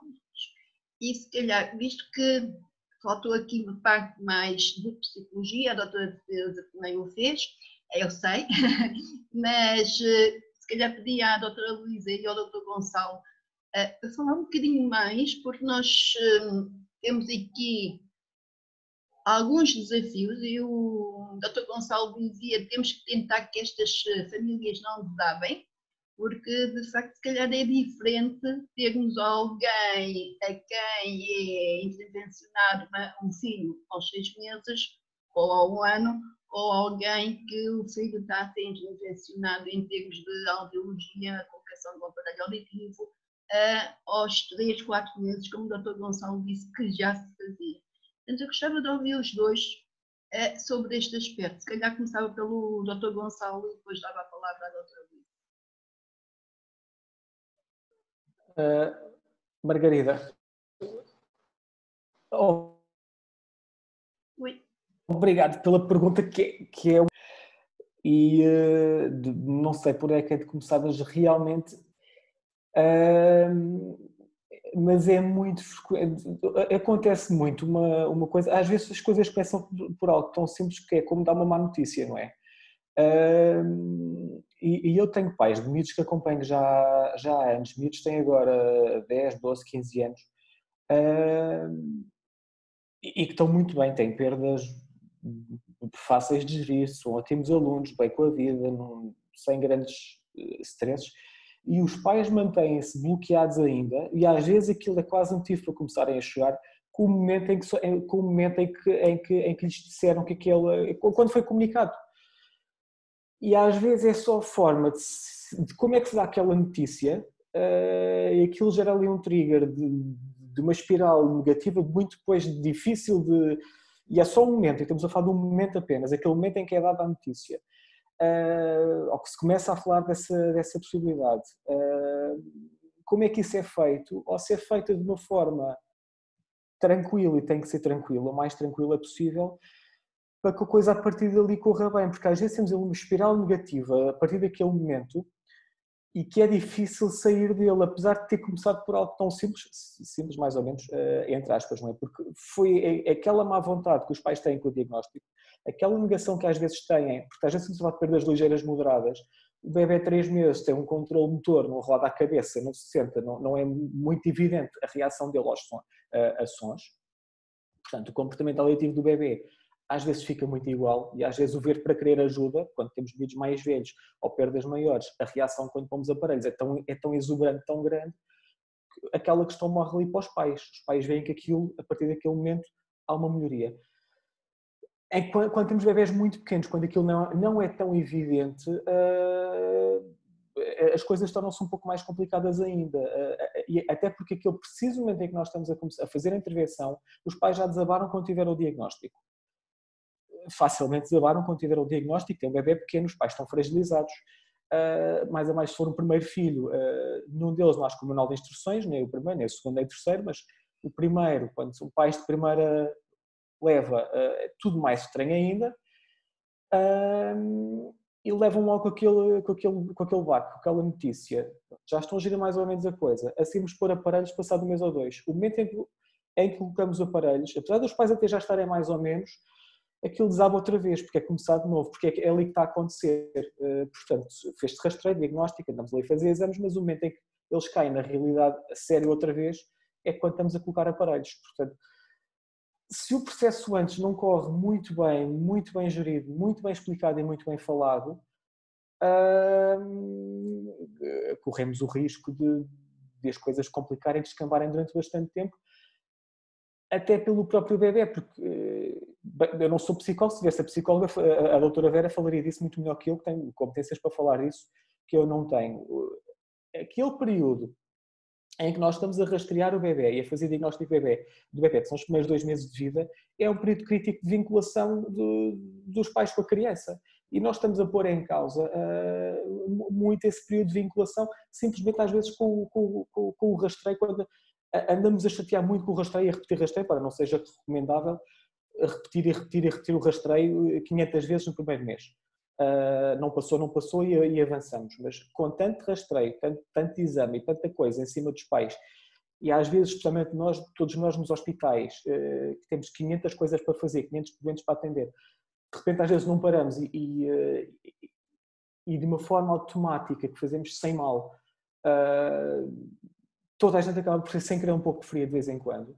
E naquela fragilidade toda e naquele período crítico em termos de vinculação, uh, estamos a falar de algo bastante delicado e que tem que ser muito, muito bem gerida.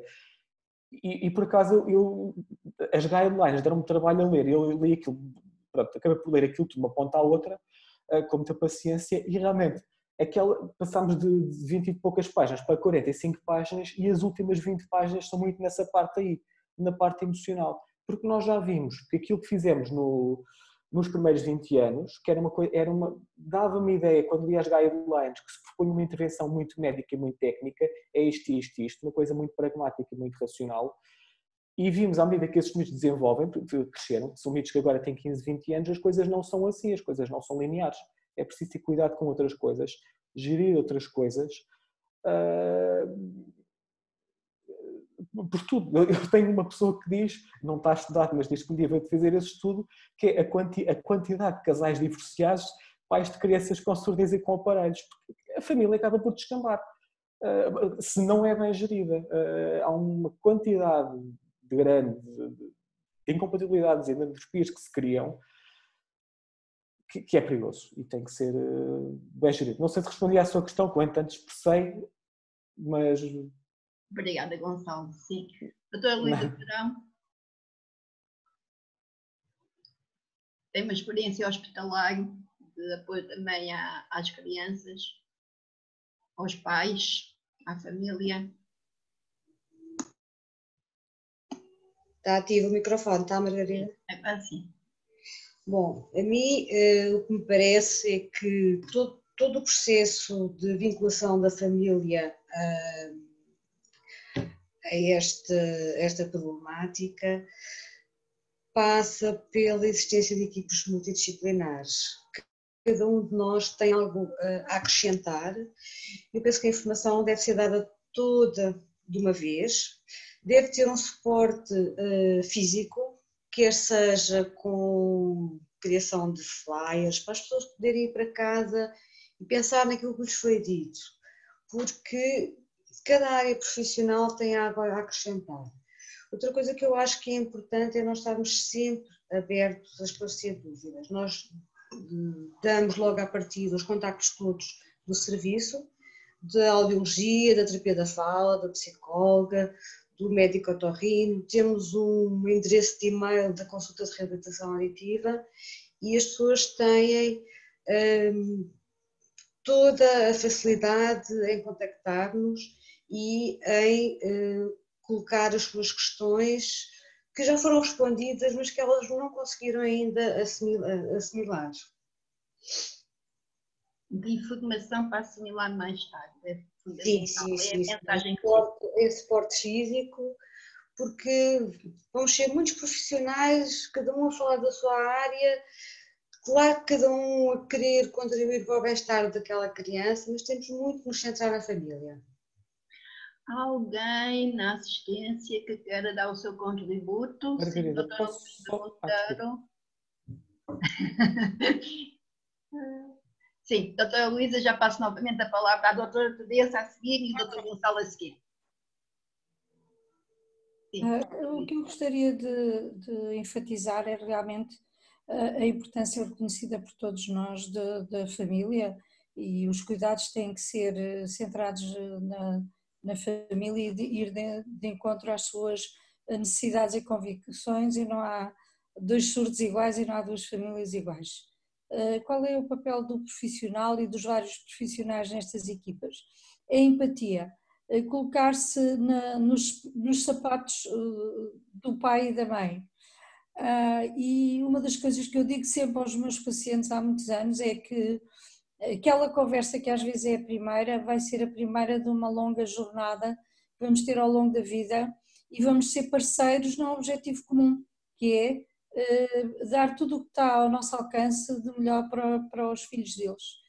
Uh, e eu acho que este apoio que nós damos de uma forma muito positiva, enfatizando sempre o lado positivo uh, e com realismo, mas sem fazer quadros muito negros, eu acho que é o maior eh, benefício que a gente pode dar aos pais eh, desde o primeiro impacto, e eu concordo com, com o Dr. Gonçalo, o primeiro impacto é o mais importante. e o estarmos relaxados com o tempo que às vezes não temos, mas temos que fingir que temos, e disponibilidade, porque a informação dada é muita, é muito difícil para as pessoas perceberem tudo o que nós temos para dizer e tem que ser redundante, tem que ser repetida ao longo do tempo.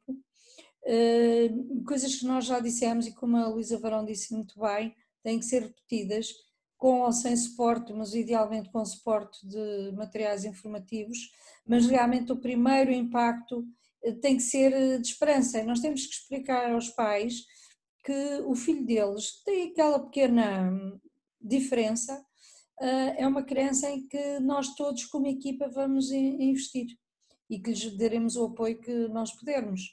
Uh, eu tenho muita pena que a doutora Luísa Varão, uh, desculpa, não, Luísa não tenho pena por estar aqui, infelizmente, a Vera Raymond Pinto não possa estar, porque a doutora Vera, que para quem não conhece é psicóloga pediátrica e trabalha na Estefânia há muitos anos, esteve sempre envolvida desde o treino dos primeiros profissionais do RANU e o que se poderia e não deveria dizer aos pais, e também nos apoiar a nós profissionais na medida eh, de como devemos dar a, notícia e de como devemos acompanhar estas famílias. E realmente é muito importante o apoio eh, que nós, como parceiros, não somos os únicos intervenientes, mas como parceiros temos que dar eh, a estas crianças. Se me fosse permitido, eu gostaria de dar uma chega também à, à exposição da doutora Teresa, dizer que me agradou imenso ver um, um pediatra de desenvolvimento com os vastos conhecimentos que tem sobre uh, uh, o desenvolvimento uh, da linguagem em crianças com deficiência auditiva. Para nós é muito importante termos do outro lado intervenientes que têm uma, uma base comum de conhecimento connosco e com os quais podemos partilhar as nossas experiências e as nossas dúvidas. Uh, queria só, já lhe pus uma pergunta por escrito, se depois puder responder eu agradecia. É Mas falando ainda da, da, avaliação multidisciplinar, esta, esta, esta guideline tem uma coisa muito importante que eu não falei propositadamente, não conseguia falar de tudo, que é das outras, uh, das outras valências médicas a que temos que enviar a criança. Uh, oftalmologia, a cardiologia, eh, e obviamente a genética e depois outras profissões que são muito importantes para nós. A neuroradiologia, ter um bom neuroradiologista que nos dê apoio, saber quando é que se vai pedir os exames de imagiologia.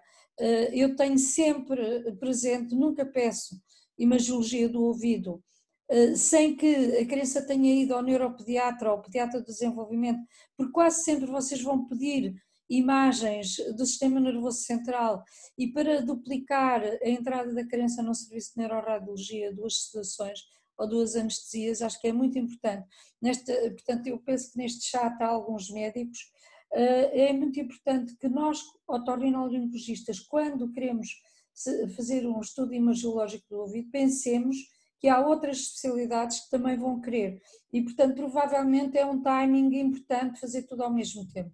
Eh, por outro lado, e isto para os neuropediatras também é importante, o facto da criança estar implantada condiciona imagens cerebrais pós-implante. E, portanto, nós temos que aproveitar a era pré-implante da criança para ter toda a informação imagiológica do sistema nervoso central que eles considerem importante. Eh, só mais uma coisa, falar num grupo muito especial de crianças, das quais eu tenho muita experiência porque trabalhei muitos anos na Estefânia e continuo a ter essa experiência, eh, eu criei uma, uma espécie de uma via verde com eh, a unidade de primeira infância da Estefânia, que na altura estava em, em, na encarnação, e com os, com os pedopsiquiatras, para que rapidamente nos mandassem as crianças com perturbações do, do, do espectro do autismo. Isto porque antigamente era muito importante e continua a ser, quando a criança, por volta dos dois anos, a família começa a achar que a criança não fala e não comunica, eh, a probabilidade desta criança de ter uma surdez hoje em dia é muito baixa, porque felizmente temos uma cobertura grande de rastreio neonatal.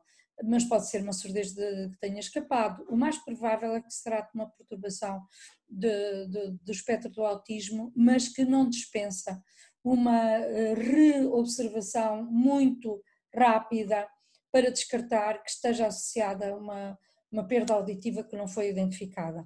Isto, estas crianças não podem estar à espera, não podem estar à espera de eras, não podem estar à espera da, da audiometria comportamental, têm que passar à frente para descartar rapidamente ou têm surdez ou não têm. Se têm, temos que ajudar a criança e adaptar os meios de reabilitação adequados, ou não têm, estas famílias deixam de estar penduradas à espera de uma consulta ou de um exame que a maior parte das vezes acaba por ser por sedação. São crianças que têm muitas dificuldades de comportamento, em colaborar a fazer os exames fisiológicos, não conseguem fazer a audiometria comportamental e eh, muitas vezes eh, eh, temos que rapidamente as passar à frente dos outros todos.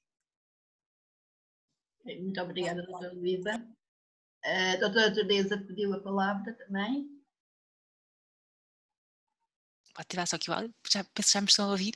Obrigada pela, pelas questões e, e, aproveitava para então responder a algumas e também falar da questão da primeira abordagem que nós temos de, na tal primeira, na famosa primeira consulta. Um, a minha, a minha intervenção nestas crianças surge uh, numa fase em que há um diagnóstico a ser estabelecido. Portanto, eu não entro na fase do, dos primeiros contactos com a audiologia, com o otorrino, mas entro ainda no primeiro ano de vida, sobretudo nos últimos anos. Na primeira fase em que comecei a acompanhar crianças com surdez, selecionavam os problemáticos, todas as crianças que estavam a ter uma evolução menos favorável, eh, mas desde há uns seis anos a esta parte que estou a acompanhar eh, e apanho muitos meninos na primeira, no primeiro ano de vida.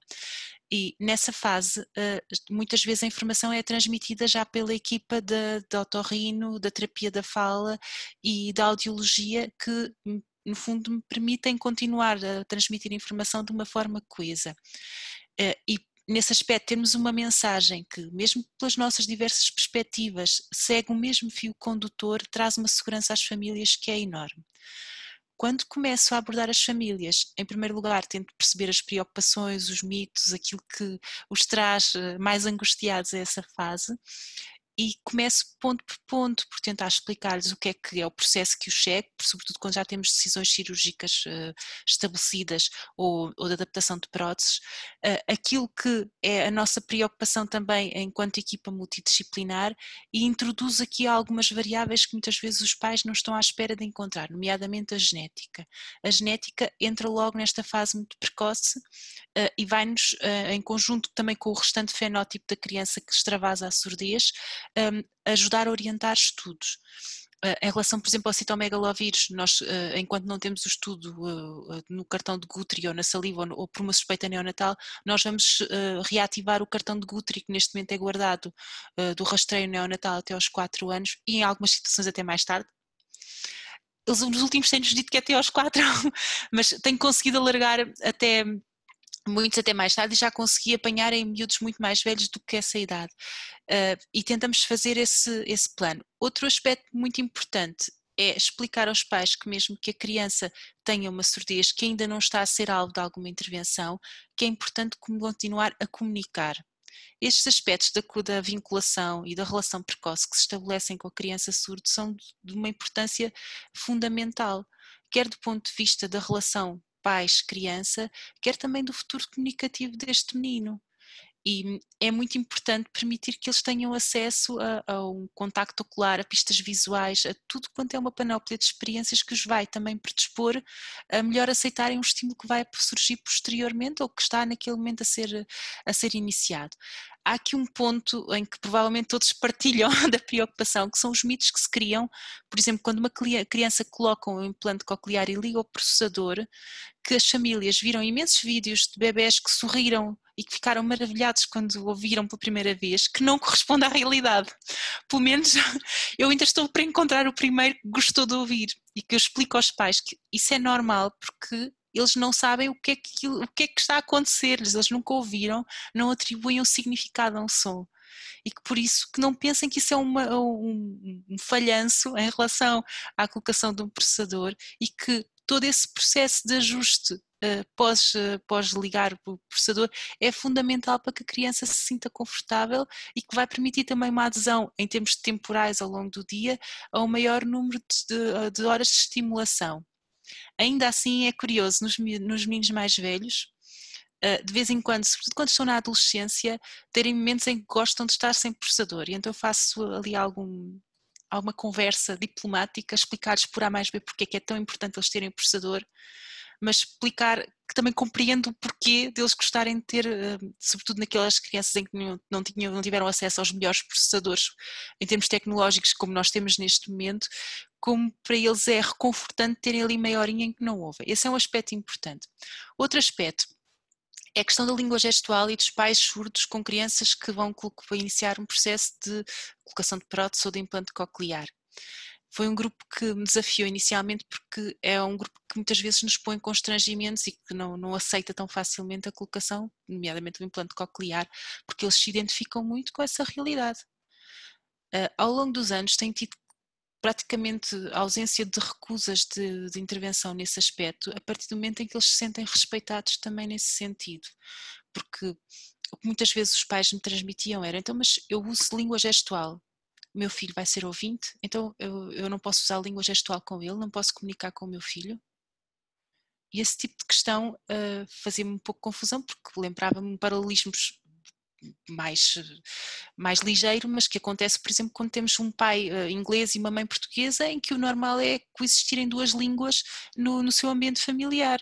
E não faria sentido, à partida, numa família que comunica primordialmente por língua gestual portuguesa, que não pudesse fazê-lo com uma criança surda só porque foi colocado um implante. E, na verdade, estas crianças que vou acompanhando ao longo do tempo ficam felizes a comunicarem alegremente na língua gestual com os seus pais, e usando a oralidade nos outros meios em que se movimentam e conseguem fazê-lo de uma forma funcional. Em relação à neuroimagem, nós temos estabelecido que quando a criança estava-se a fazer a eh, avaliação de imagem para a colocação do implante coclear, faz logo nesse momento uma ressonância magnética e taque cranioencefálica e todos esses achados são discutidos com os colegas da neuroradiologia, porque nos fornecem pistas diagnósticas muito importantes também em termos etiológicos ou para encontrarmos algumas comorbilidades existentes. Por exemplo, nos prematuros, essa é uma das razões uh, que nos leva a ver, isso, a ver esses aspectos com muito mais cuidado e também porque há alterações estruturais que nos fazem prever, por exemplo, uma maior probabilidade de epilepsia, que é um dos desafios que nós encaramos perante um implante coclear, na maioria das vezes em que temos essa comorbilidade tem-se conseguido ajustar perfeitamente eh, e corre bem, mas é algo que nós temos de ter à partida a família informada, eh, temos de desenvolver, sem criar também angústias excessivas, para a probabilidade de haver aqui outros condicionantes que vão prejudicar o que se possa passar posteriormente. A oftalmologia também entra numa forma precoce, nós também temos uma espécie de via verde oftalmológica, porque eh, a intervenção nessa área é fundamental, não só para depois diagnósticos posteriores de alterações visuais associadas, mas também porque temos de partir do pressuposto que essa situação está, está bem uh, identificada. Nos prematuros, mais uma vez, a retinopatia da prematuridade é uma realidade e não pode passar um timing de intervenção ideal para podermos ajudar a que a criança não tenha um, um duplo impacto em termos sensoriais naquilo que é o seu desenvolvimento. Em relação à perturbação do espectro do autismo, quando comecei a trabalhar com este grupo, até se falava da provável contraindicação de colocação de implante coclear a uma criança, que felizmente cada vez mais uh, uh, isso caiu por terra. Claro que quando estamos a ver crianças cada vez mais jovens, e se eu vejo um bebê de 9 meses, 10 meses, 11 meses e que vai colocar um implante coclear, a probabilidade que eu tenho de encontrar sinais que sejam inequívocos de perturbação do espectro do autismo é muito mais baixa.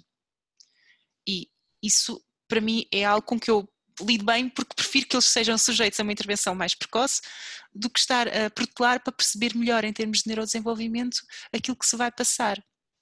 Mesmo as crianças com autismo, com uma correta percepção auditiva, vão ter um melhor prognóstico, porque quando coexistem as duas alterações, o, o, o trajeto seguinte é, é muito, muito difícil. Também já me aconteceu ter crianças que são implantadas e que têm traços eh, não, não cumprem em completo critérios de autismo, mas têm traços pervasivos do seu desenvolvimento.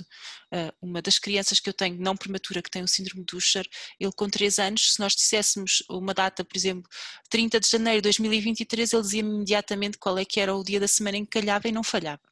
Tinha uma série de comportamentos repetitivos e tocava, estava muito próximo de critérios de autismo. A partir do momento em que foi colocado uh, um segundo implante coclear e foi ainda mais otimizada a questão auditiva, ele esbateu quase por completo esses sinais. Não é invulgar haver um grupo de meninos que têm estas características e que a partir do momento em que nós investimos de uma forma ainda mais vigorosa na, na comunicação, na audição, na, na interação, que eles batem são diferentes das crianças normo-ouvintes que têm este tipo de, de, características e por isso, claro que nós temos de dar a noção aos pais que existindo estes fatores, a linguagem não vai sofrer o mesmo tipo de evolução que numa criança que tenha uma comunicação não verbal muito melhor, mas continua a ser uma mais-valia muito significativa poder também intervir neste grupo de criança específico.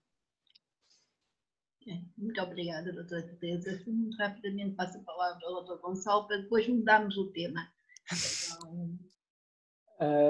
Não, eu, Margarida, eu há bocado ia dizer só uma coisa muito simples em relação ao que a Luísa Varão estava a dizer sobre a questão da informação que é dada aos pais, e realmente é bom que seja dada muita informação, é suposto escrito, uh, tudo certo. Eu só ia acrescentar uma coisa que é uma coisa boa, mas perigosa, que é algo que os pais fazem muito, que é ainda não há um diagnóstico, ou já há um diagnóstico e vamos partir para a intervenção, e já foram ler tudo e mais alguma coisa online, tudo o que está na internet de certo, de errado, e, e meia culpa, todos nós fazemos isso, nós, todos nós percebemos muito uma coisa específica e, não, e percebemos muito pouco ou nada do resto. E naquilo que nós não percebemos nada, especialmente quando estamos a falar de coisas médicas, também pesquisamos e lemos coisas absurdas e não conseguimos filtrar a informação que é correta, porque somos eh, leigos na, na, na área e os pais leem tudo e mais alguma coisa, eu acho que no geral isso até é bom. Em muitos casos ajuda, em muitos é perverso. E, e depois acontece, acontecem situações, por causa da doutora Teresa falou nisso agora, uh, que se tornam um bocado frustrantes e que e criam, algum, criam-nos alguns problemas, que é aqueles pais, aquelas crianças vão ser implantadas, já leram tudo sobre o implante, já andaram a ver vídeos de cirurgias, que é uma coisa que me faz confusão, os pais andarem a ver vídeos de cirurgia online, cirurgias de implante, Uh, e depois vê aqueles vídeos de algo que raramente acontece, que é que a criança tem uma reação brutal quando liga ao implante, uh, e, e, isso não é a realidade. E depois, quando nós ativamos o implante, obviamente, quem quase 100% dos casos isso não acontece, não é uma reação bonita, a criança até reage ao som, mas, é, mas desatou a chorar. Uh, parece um parto, quase. E isso depois gera, é bom e mau, mas a, a, internet tem alguns problemas. E, e e é problemática às vezes, não ajuda. O outro dia, eu peço desculpa da moderação e ao mesmo tempo fazer alguns comentários, mas o outro dia alguém dizia que os pais atuais também veem as coisas de um modo diferente e da, daquilo que era há 20, 30, 40 anos. Sim. E acho que é muito isso, e as novas tecnologias fizeram muito isso. O modo como se vive agora, com 20, 25 anos, e se tem um bebê, é completamente diferente do modo como se vivia aos Há 40 ou 50 anos atrás isso não Isso é, um, é, é, uma verdade e também é uma questão. Eu há bocado quando apresentei estava de certa forma um pouco crítico com a intervir muito cedo e os riscos de intervir muito cedo. E quando eu digo muito cedo, aos 3, 4 meses, uhum. agora está-se a tornar padrão intervirmos aos. Eu acho que a maior parte das adaptações que estou a fazer agora, primeiras adaptações, são em bebés de 5, 6, 7 meses. E elas correm correm bem. Uh, e dos 3 para os 6 muda muito. E as coisas gerem-se bem. E os pais, apesar de todo aquele desgaste do processo do diagnóstico e da, e da intervenção, há muitos pais que hoje em dia, por estarem tão informados, por lerem tanto, também conseguem fazer de uma forma. Ansiedade. Diga? Já não têm tanta ansiedade. Não têm tanta ansiedade e colaboram melhor e são mais rápidos. Até estão ali numa postura muito negativa, mas é depois até dão a volta mais rapidamente. Acho que os pais estão melhores e as crianças acabam por estar melhor por inerência também. Uh, portanto, há coisas positivas, muitas. Mesmo Mudando assim. um bocadinho de assunto, muito obrigada, doutor Gonçalo. Doutora Luísa colocou aqui em relação às crianças autistas e à avaliação audiológica, doutora Luísa Barão. Uh, temos duas doutoras Luísas. Uh, quer uh, comentar alguma coisa em relação à intervenção da doutora Teresa? Estás a falar comigo? Sim. Bom, só queria acrescentar, a doutora Luísa Monteiro uh, disse muito bem que é importante ter esta via verde para as crianças com o espectro das perturbações do autismo, Uh, os potenciais evocados, portanto, as provas eletrofisiológicas dão-nos uh, informação dos dois ouvidos é separado, mas as provas uh, comportamentais feitas por audiologistas pediátricos experientes dão, são uma mais-valia. Os pais ali estão presentes na sala e observam o comportamento da criança quando nós estamos a testá-las. Não, não temos, é difícil, não é linear, mas nós conseguimos adaptar os nossos procedimentos de forma a avaliar as, estas crianças também com provas comportamentais e fazer o tal cross-check entre umas, umas provas e outras. Uh, aquilo que a doutora Teresa estava a falar relativamente à ativação dos, dos implantes cocleares, nós com, uh, com o consentimento, consentimento informado das famílias filmamos por norma o momento da ativação, uh, temos as mais diversas reações, temos crianças que ficam estáticas e, e nós no início estamos com alguma dificuldade em perceber se estão a ouvir ou não, temos a maioria que chora, sim, por isso nós começamos com estimulações suaves e temos um grupo de crianças que gosta particularmente de ouvir e que acha muita graça quando, quando nós ativamos uh, o implante. O que nós fazemos é, uh, antes da cirurgia, ter uma última conversa, nós audiologistas, com os pais, perguntar se há dúvidas e frisar que as reações não são sempre como vê na internet, nos vídeos, portanto, que a maioria das crianças uh, tem reações adversas uh, e vamos ver como é que os filhos deles vão, vão reagir na, nesse momento. Ok, muito obrigada, doutora Luísa Barão. É, sim, eu tinha aqui agora a parte da avaliação, mas a doutora Luísa Monteiro estava a dizer que tem que se aumentar e eu aproveitava para passar para a parte da qualidade do rastreio. Tenho aqui uma questão a professora Carla Silva, que diz como é que podemos cumprir a intervenção aos seis meses em Portugal, mesmo tendo cumprido as fases anteriores, sem uma base de dados nacional, sem sistema de controle de qualidade implementado.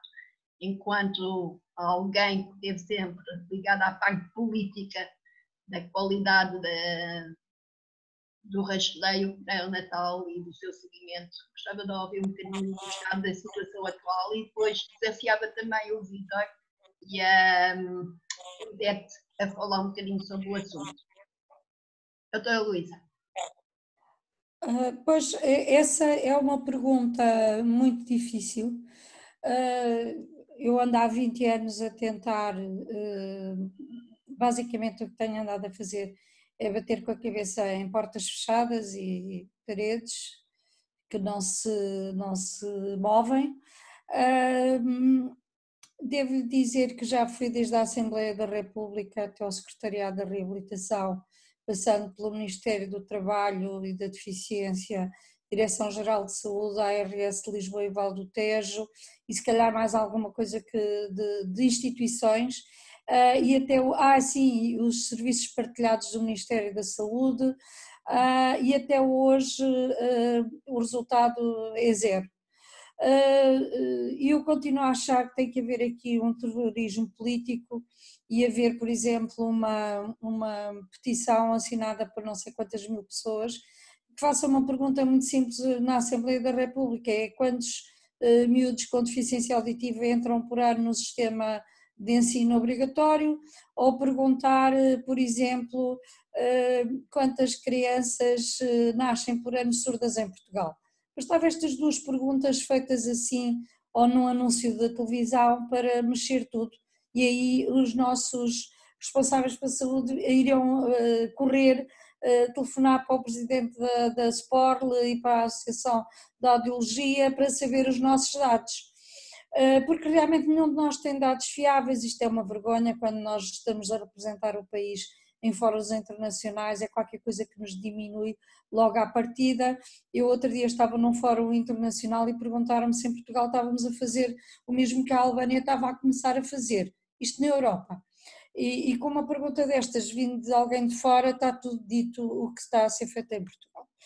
Uh, não é por culpa dos profissionais de saúde, todos nós, desde o princípio, lutamos para que os miúdos portugueses tivessem o direito de serem rastreados e intervencionados tão bem como no estrangeiro. Nós temos aqui dois, dois grandes problemas, dois grandes entraves, e não são uh, dos profissionais. Temos dois grandes problemas. Um é esse: não temos uh, registros nacionais, o que nos diminui em relação à força que nós poderíamos ter perante a opinião pública, perante os fóruns internacionais e perante as autoridades de saúde. e de Educação, e do Ministério do Trabalho, e de Segurança Social, não temos os dados. Uh, e depois outro que também é muito grave, e esse já é médico, clínico, não médico clínico, no, no sentido de estar à volta da criança, que é não termos próteses auditivas para dar aos três meses. Uh, eu lembro-me que uma vez no verão vi uma criança, filha de, de portugueses imigrados na, na Noruega, a criança tinha uma, uma hipocusia média, nem sequer era severa nem profunda, e foi feito o diagnóstico muito precocemente no hospital onde a criança tinha nascido, e no dia da adaptação protética perguntaram à mãe se ela queria dois pares de próteses ou apenas um par de próteses. E a mãe perguntou, pois não sei, ah, é melhor levar dois pares, isto é, quatro próteses, não vá uma delas a variar, e, portanto, para ter a criança, uh, isto era o que nós devíamos ter. Não vou dizer que devíamos dar dois pares de prótese a cada criança, mas o meu sonho como profissional envolvida nesta área, alguns já se concretizaram, outros ainda não, o que prova que eu tenho que viver mais anos e sonhar mais anos, uh, era ter uma gaveta na, no departamento de audiologia, ter uma gaveta que se abria, onde eu tinha ali caixinhas de prótese ao lado uns dos outros, e ter o meu audiologista ali ao lado e a criança no do diagnóstico sair com a sua prótese aos três meses de idade. Isto é uma fantasia em Portugal, mas pelo sonho é que vamos. Ah, e se nós tivermos um diagnóstico bem feito aos dois meses e uma prescrição da ajuda técnica aos dois meses, se calhar aos 10 a criança vai ter as próteses e provavelmente aos 10 vai ter o primeiro implante ou implante simultâneo bilateral que esse foi um dos ganhos que nós tivemos nos últimos anos. Hoje em dia em Portugal, como noutros países, em Espanha é quase a mesma coisa, é mais rápido pôr um implante coclear bilateral do que prescrever eh, um par de próteses eh, para a criança fazer a tal, a tal eh, treino que deve fazer durante seis meses antes de ser referenciado para o programa de implantes. Eu ainda estava na Estefânia, saí de lá em 2013 e havia em que eu dizia se pode comprar, se vocês pode, podem, compre já uma prótese, eh, que depois se for preciso muda-se para o outro lado, a gente vai implantar um ouvido e vamos pôr a prótese. E às vezes o implante e a prótese eram ao mesmo tempo, hoje em dia já não temos que fazer isso, porque já temos autorização para fazer implantes simultâneos bilaterais. Um, pronto, eu acho que há aqui muito a dizer, muito a fazer. Acho que esta, esta, esta tertúlia teve uh, dois aspectos muito positivos e eu queria agradecer uh, à Margarida e à, à Carla uh, a iniciativa. O primeiro foi pôr-nos a falar todos outra vez de um assunto que às vezes já, nós achamos que já está resolvido e não está. As guidelines põem-nos a craveira mais acima e obrigam-nos a puxar a nossa prática para cima. Por outro lado, também é bom porque nós vemos que a nossa prática não está desajustada, a nossa prática está dentro daquilo que é, que é o importante. E a outra coisa importante é que nós uh, saímos daqui, se calhar, com um bocadinho mais de vontade de continuar a lutar por aquilo que os nossos miúdos ainda não têm. E isso já valeu a pena. Muito obrigada. Obrigada a nós, doutora Luísa. Obrigada nós vamos continuar e desafiava o, doutor Luísa. Doutora, doutora Luísa. Vitor Jesus, que sei que pronto, talvez consiga desta vez eh, responder a nível nacional com a ajuda da doutora Luísa e da Organização Geral de Saúde, com a tal plataforma nacional em que todos nós podemos registrar os nossos rastreios e, e servir de base de dados nacional. Não sei, não sei como é que está a plataforma, mas estava a falar. Certo, certo. Um, se a doutora Luísa puder ficar só um bocadinho, só até eu terminar a minha intervenção. Obrigado. E antes de mais, uh, excelentes apresentações, excelentes apresentações, gostei muito. Uh, eu estou aqui, pronto, para mim já foi um relembrar, um recordar aqui muitos conceitos que já estavam alguns esquecidos. Uh, e aproveito também para falar um bocadinho da plataforma. A plataforma que, está, que estamos a desenvolver já, já, já vai há mais de um ano, junto ao Equalizate uh, no Hospital Garcia de Horta, uh, e finalmente vai ser implementada a plataforma. Este desenvolvimento foi sempre feito também em conjunto com a doutora Luísa Monteiro, e temos agora um projeto muito interessante porque até agora era uma plataforma de registro até 24 meses, quando fazemos os registros do, do mas vamos passar para a próxima fase, onde vamos ter aqui um, um registro e um acompanhamento do bebê numa segunda fase até aos 6, até aos 6 anos, mas o nosso objetivo é chegar até aos uh, 18 anos.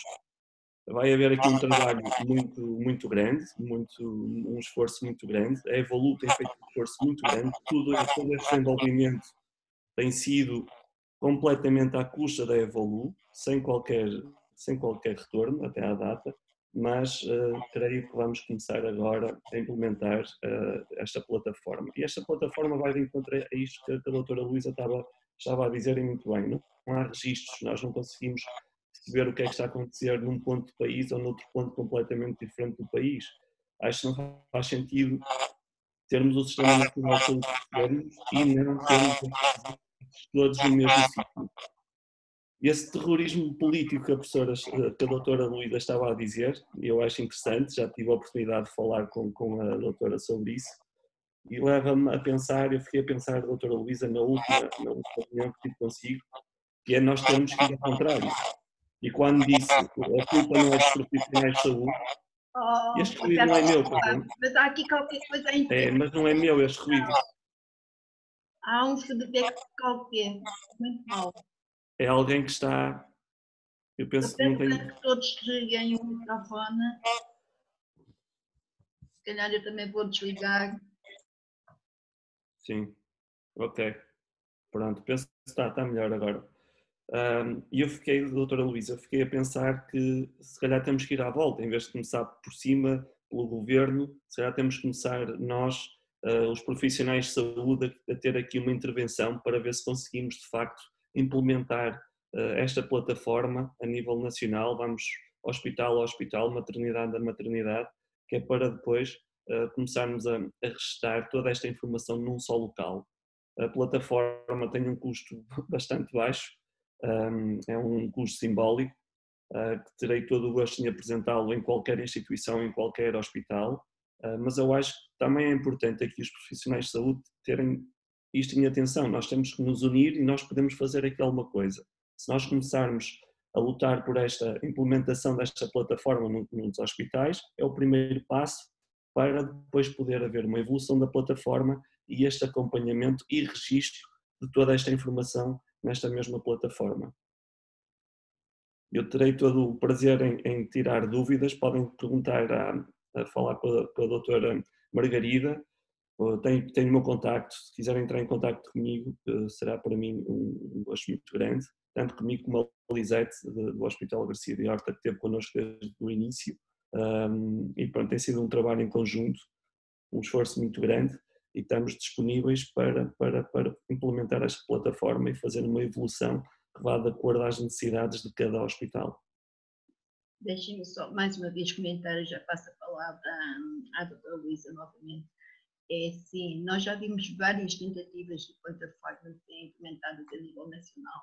Nós aqui temos audiologistas e otorrinos neste momento, uh, nesta, e se calhar alguns terapeutas da fala e também um ou dois enfermeiros é eu faço o apelo para ver se nós de facto conseguimos, de uma vez por todas, ter então plataforma a nível nacional com os dados a nível nacional. Porque as tentativas não é a primeira vez, nem é a segunda, nem a terceira que nós temos conhecimento deste tipo de tentativa e depois alguma coisa emperra, alguma coisa não se consegue. Portanto, talvez seja uma boa altura para pensarmos seriamente no assunto. Exatamente. Doutora Luísa.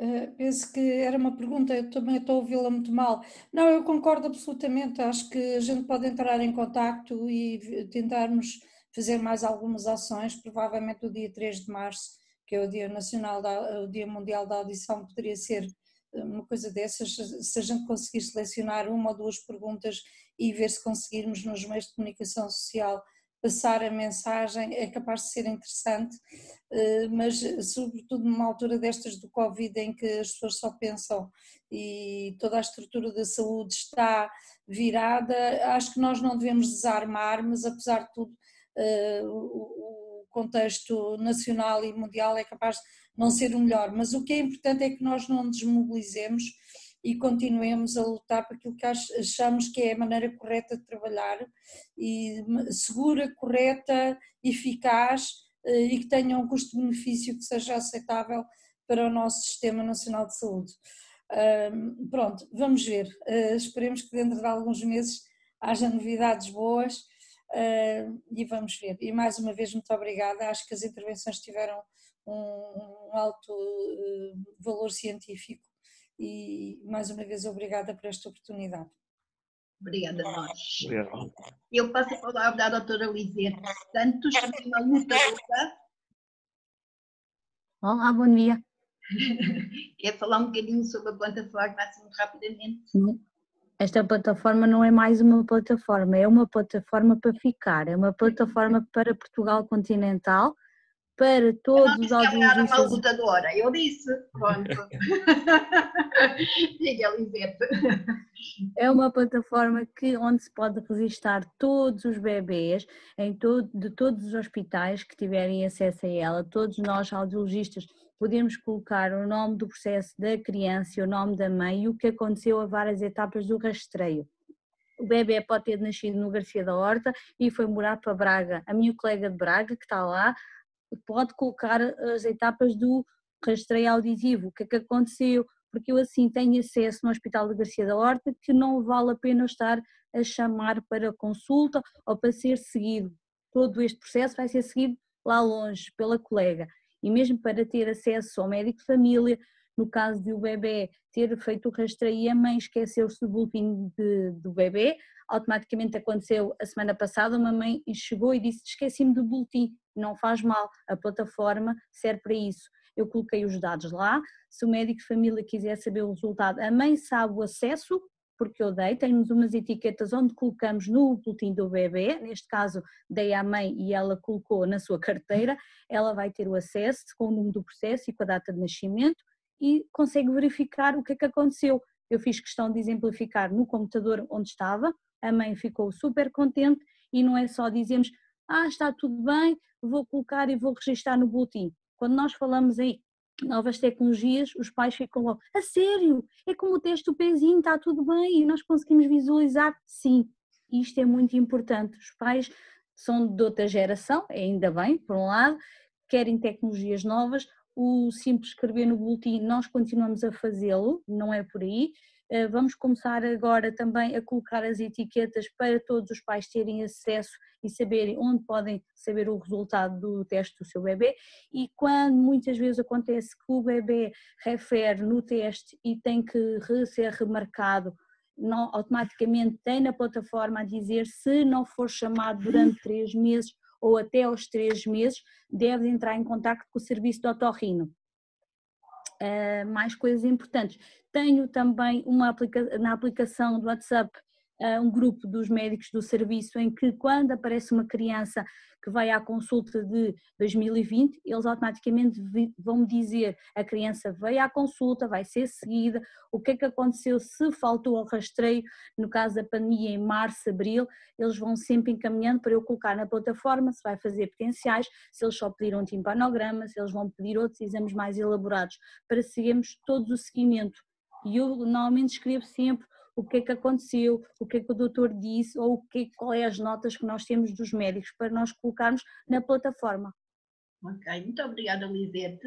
Vamos a um outro tema que também foi aqui aflorado várias vezes e que eu apanhei aqui para as minhas notas, os temas são muitos, mas pronto, é um que eu penso que é transversal a quem nos está a ouvir, que é a parte da avaliação, a parte do diagnóstico de surdez. Falou-se aqui do Tonebust, do Chimp, do, do Click, de potenciais de estado estável, e eu achei piada uma das afirmações do Dr. Gonçalo a dizer que estado estável cada vez, uh, quem os faz, cada vez os faz melhor, apesar das limitações. E a doutora Luísa a dizer estão a cair em desuso.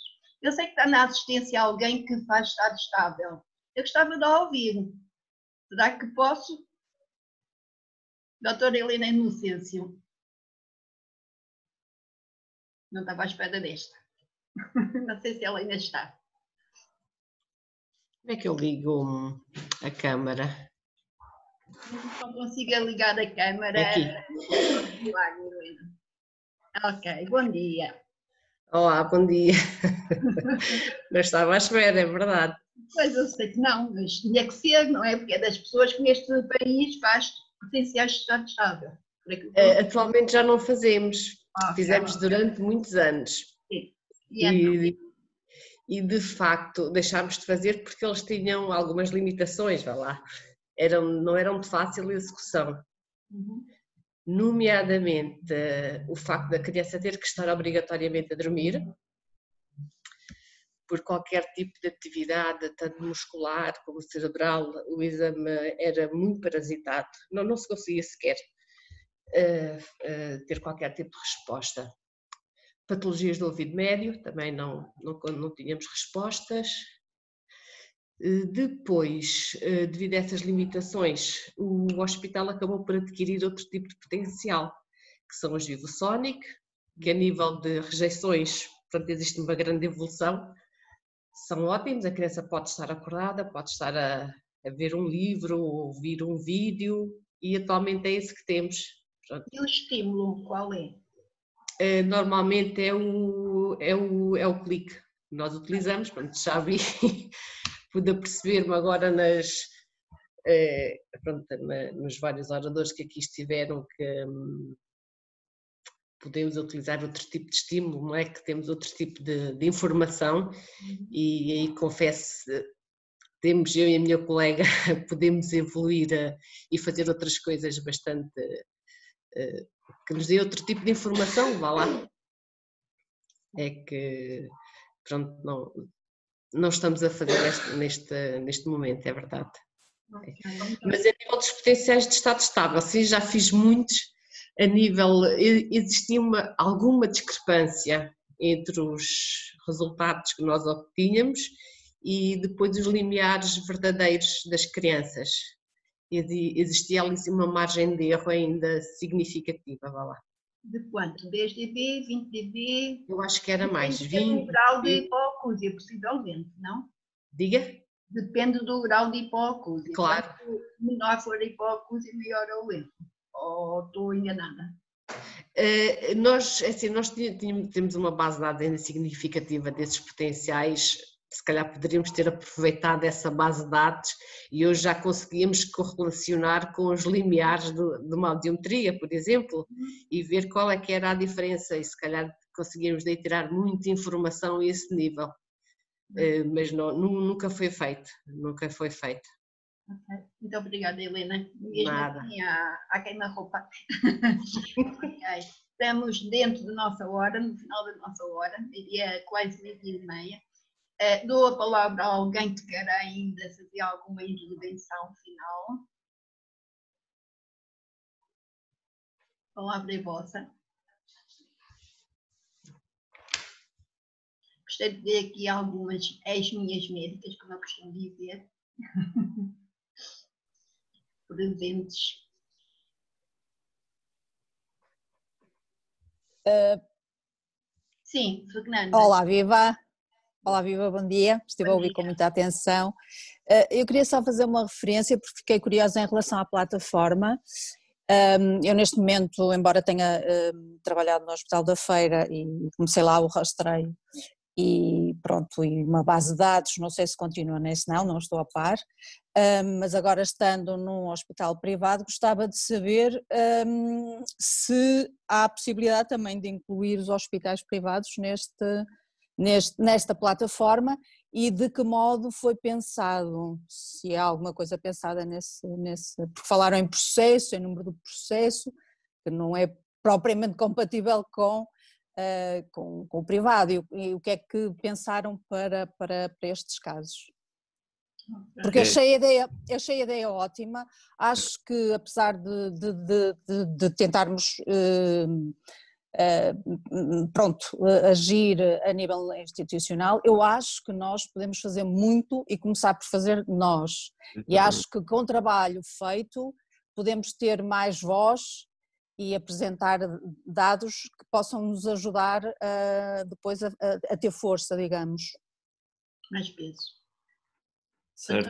Posso, Ah. posso responder? Ah, o Peter, vai, vai, avança. Sim, sim. Ahm, pronto, é assim, é o seguinte, a plataforma, temos uma equipa de desenvolvimento, por isso nós conseguimos adaptar sempre às necessidades de cada hospital. Claro que a ideia é tentar tornar a plataforma o mais universal possível, mas vamos sempre de encontro ao fluxo de cada de modo operandi de cada hospital, como é óbvio. Ahm, aquilo que a Lisete disse é correto, é uma explicação muito breve, mas há que terem atenção até por questões da RGPD que as, vários, vários profissionais têm acessos diferentes. Um médico, um audiologista, um profissional de saúde tem um tipo de acesso onde vai ter toda a informação, acesso a toda a informação do bebê e até mesmo dos pais, ah, enquanto que se for um administrativo ou se for a própria consulta depois que os pais podem ver na plataforma, a única coisa que podem consultar é o resultado do teste, do teste do rastreio auditivo. Neste momento é só do rastreio auditivo, porque nós ainda só estamos no RANU, mas vamos fazer aqui um, uma progressão da, da, plataforma para ficar de acompanhamento até, até a fase quase adulta. Uh, não há problema nenhum de ser um hospital privado ou ser um hospital público, nós queremos mesmo é, é implementar a plataforma no maior número de hospitais possíveis e eu acho que é mesmo isso que, que a doutora Fernanda estava a dizer, nós temos que, se, não, se, os, se os profissionais não tiverem aqui um papel ativo, daqui a um ano, dois anos, dez anos, vamos estar pouco diferentes do, da fase em que estamos agora.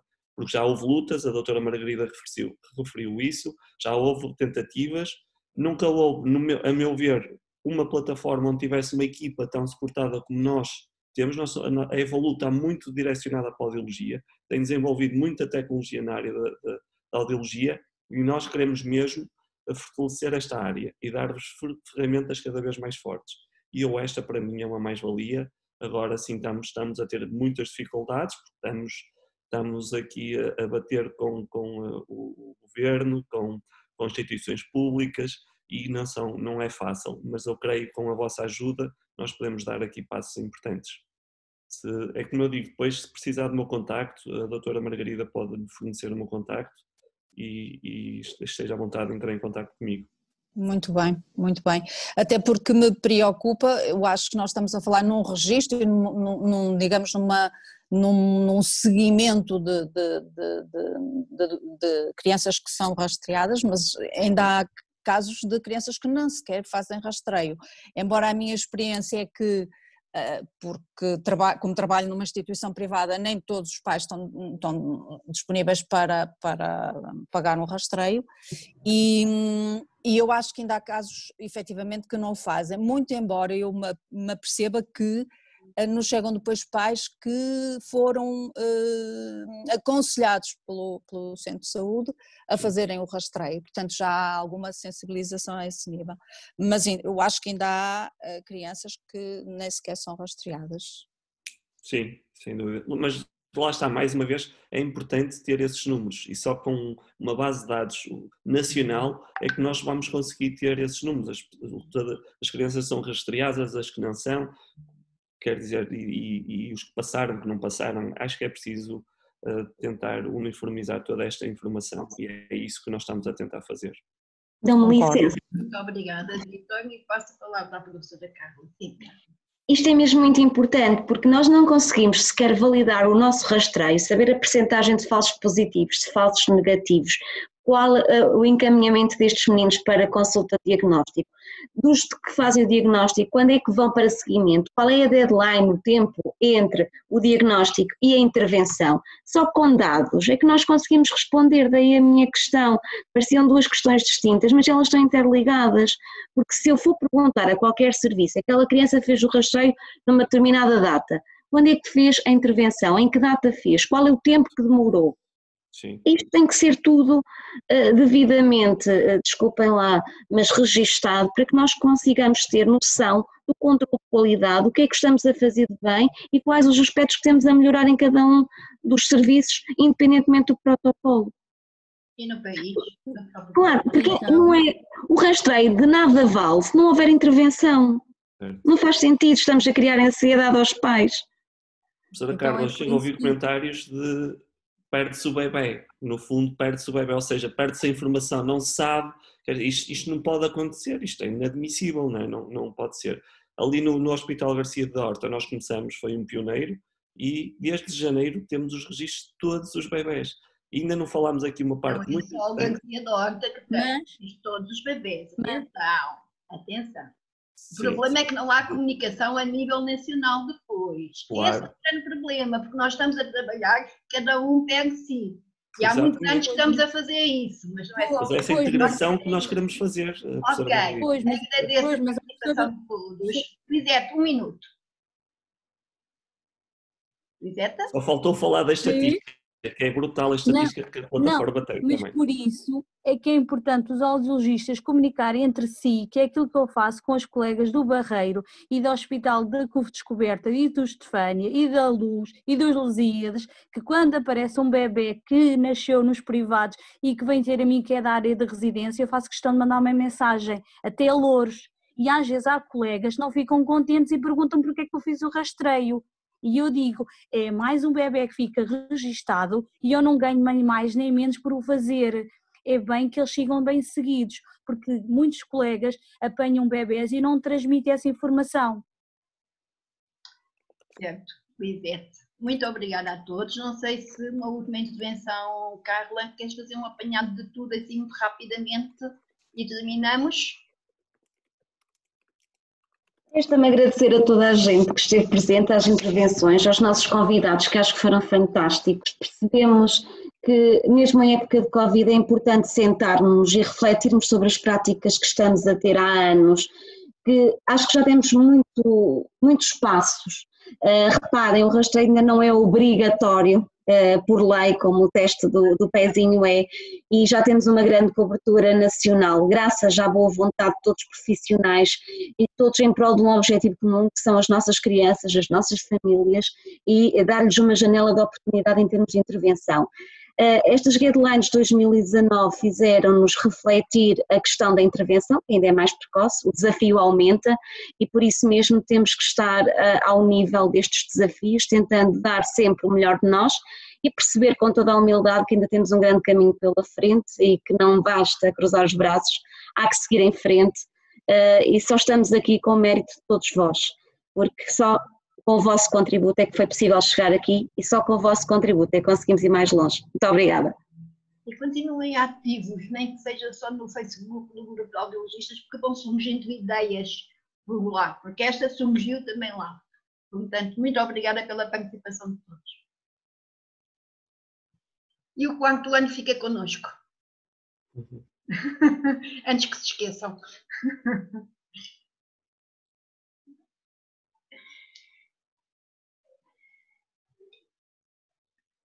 obrigado, com licença. Obrigada a todos.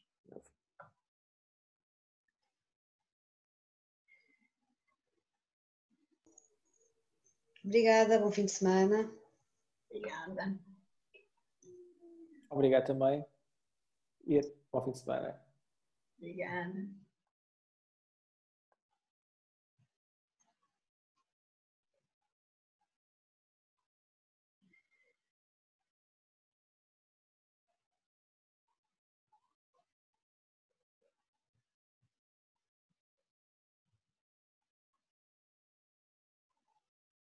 Tchau, Lucy. Ok, parece que só estamos nós neste momento. Só? Ainda, ainda há outras pessoas. Eu só estou a ver a página inicial, a página inicial já está com muita gente quarto ano, mas ainda temos três páginas a sair.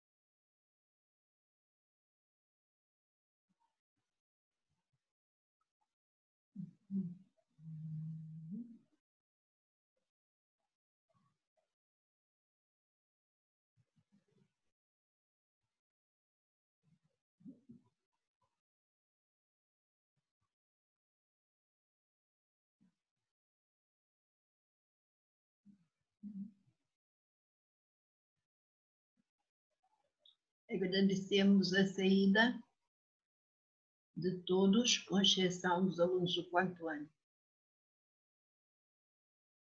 Atual. Eu estou a ver aqui muita gente do ano passado.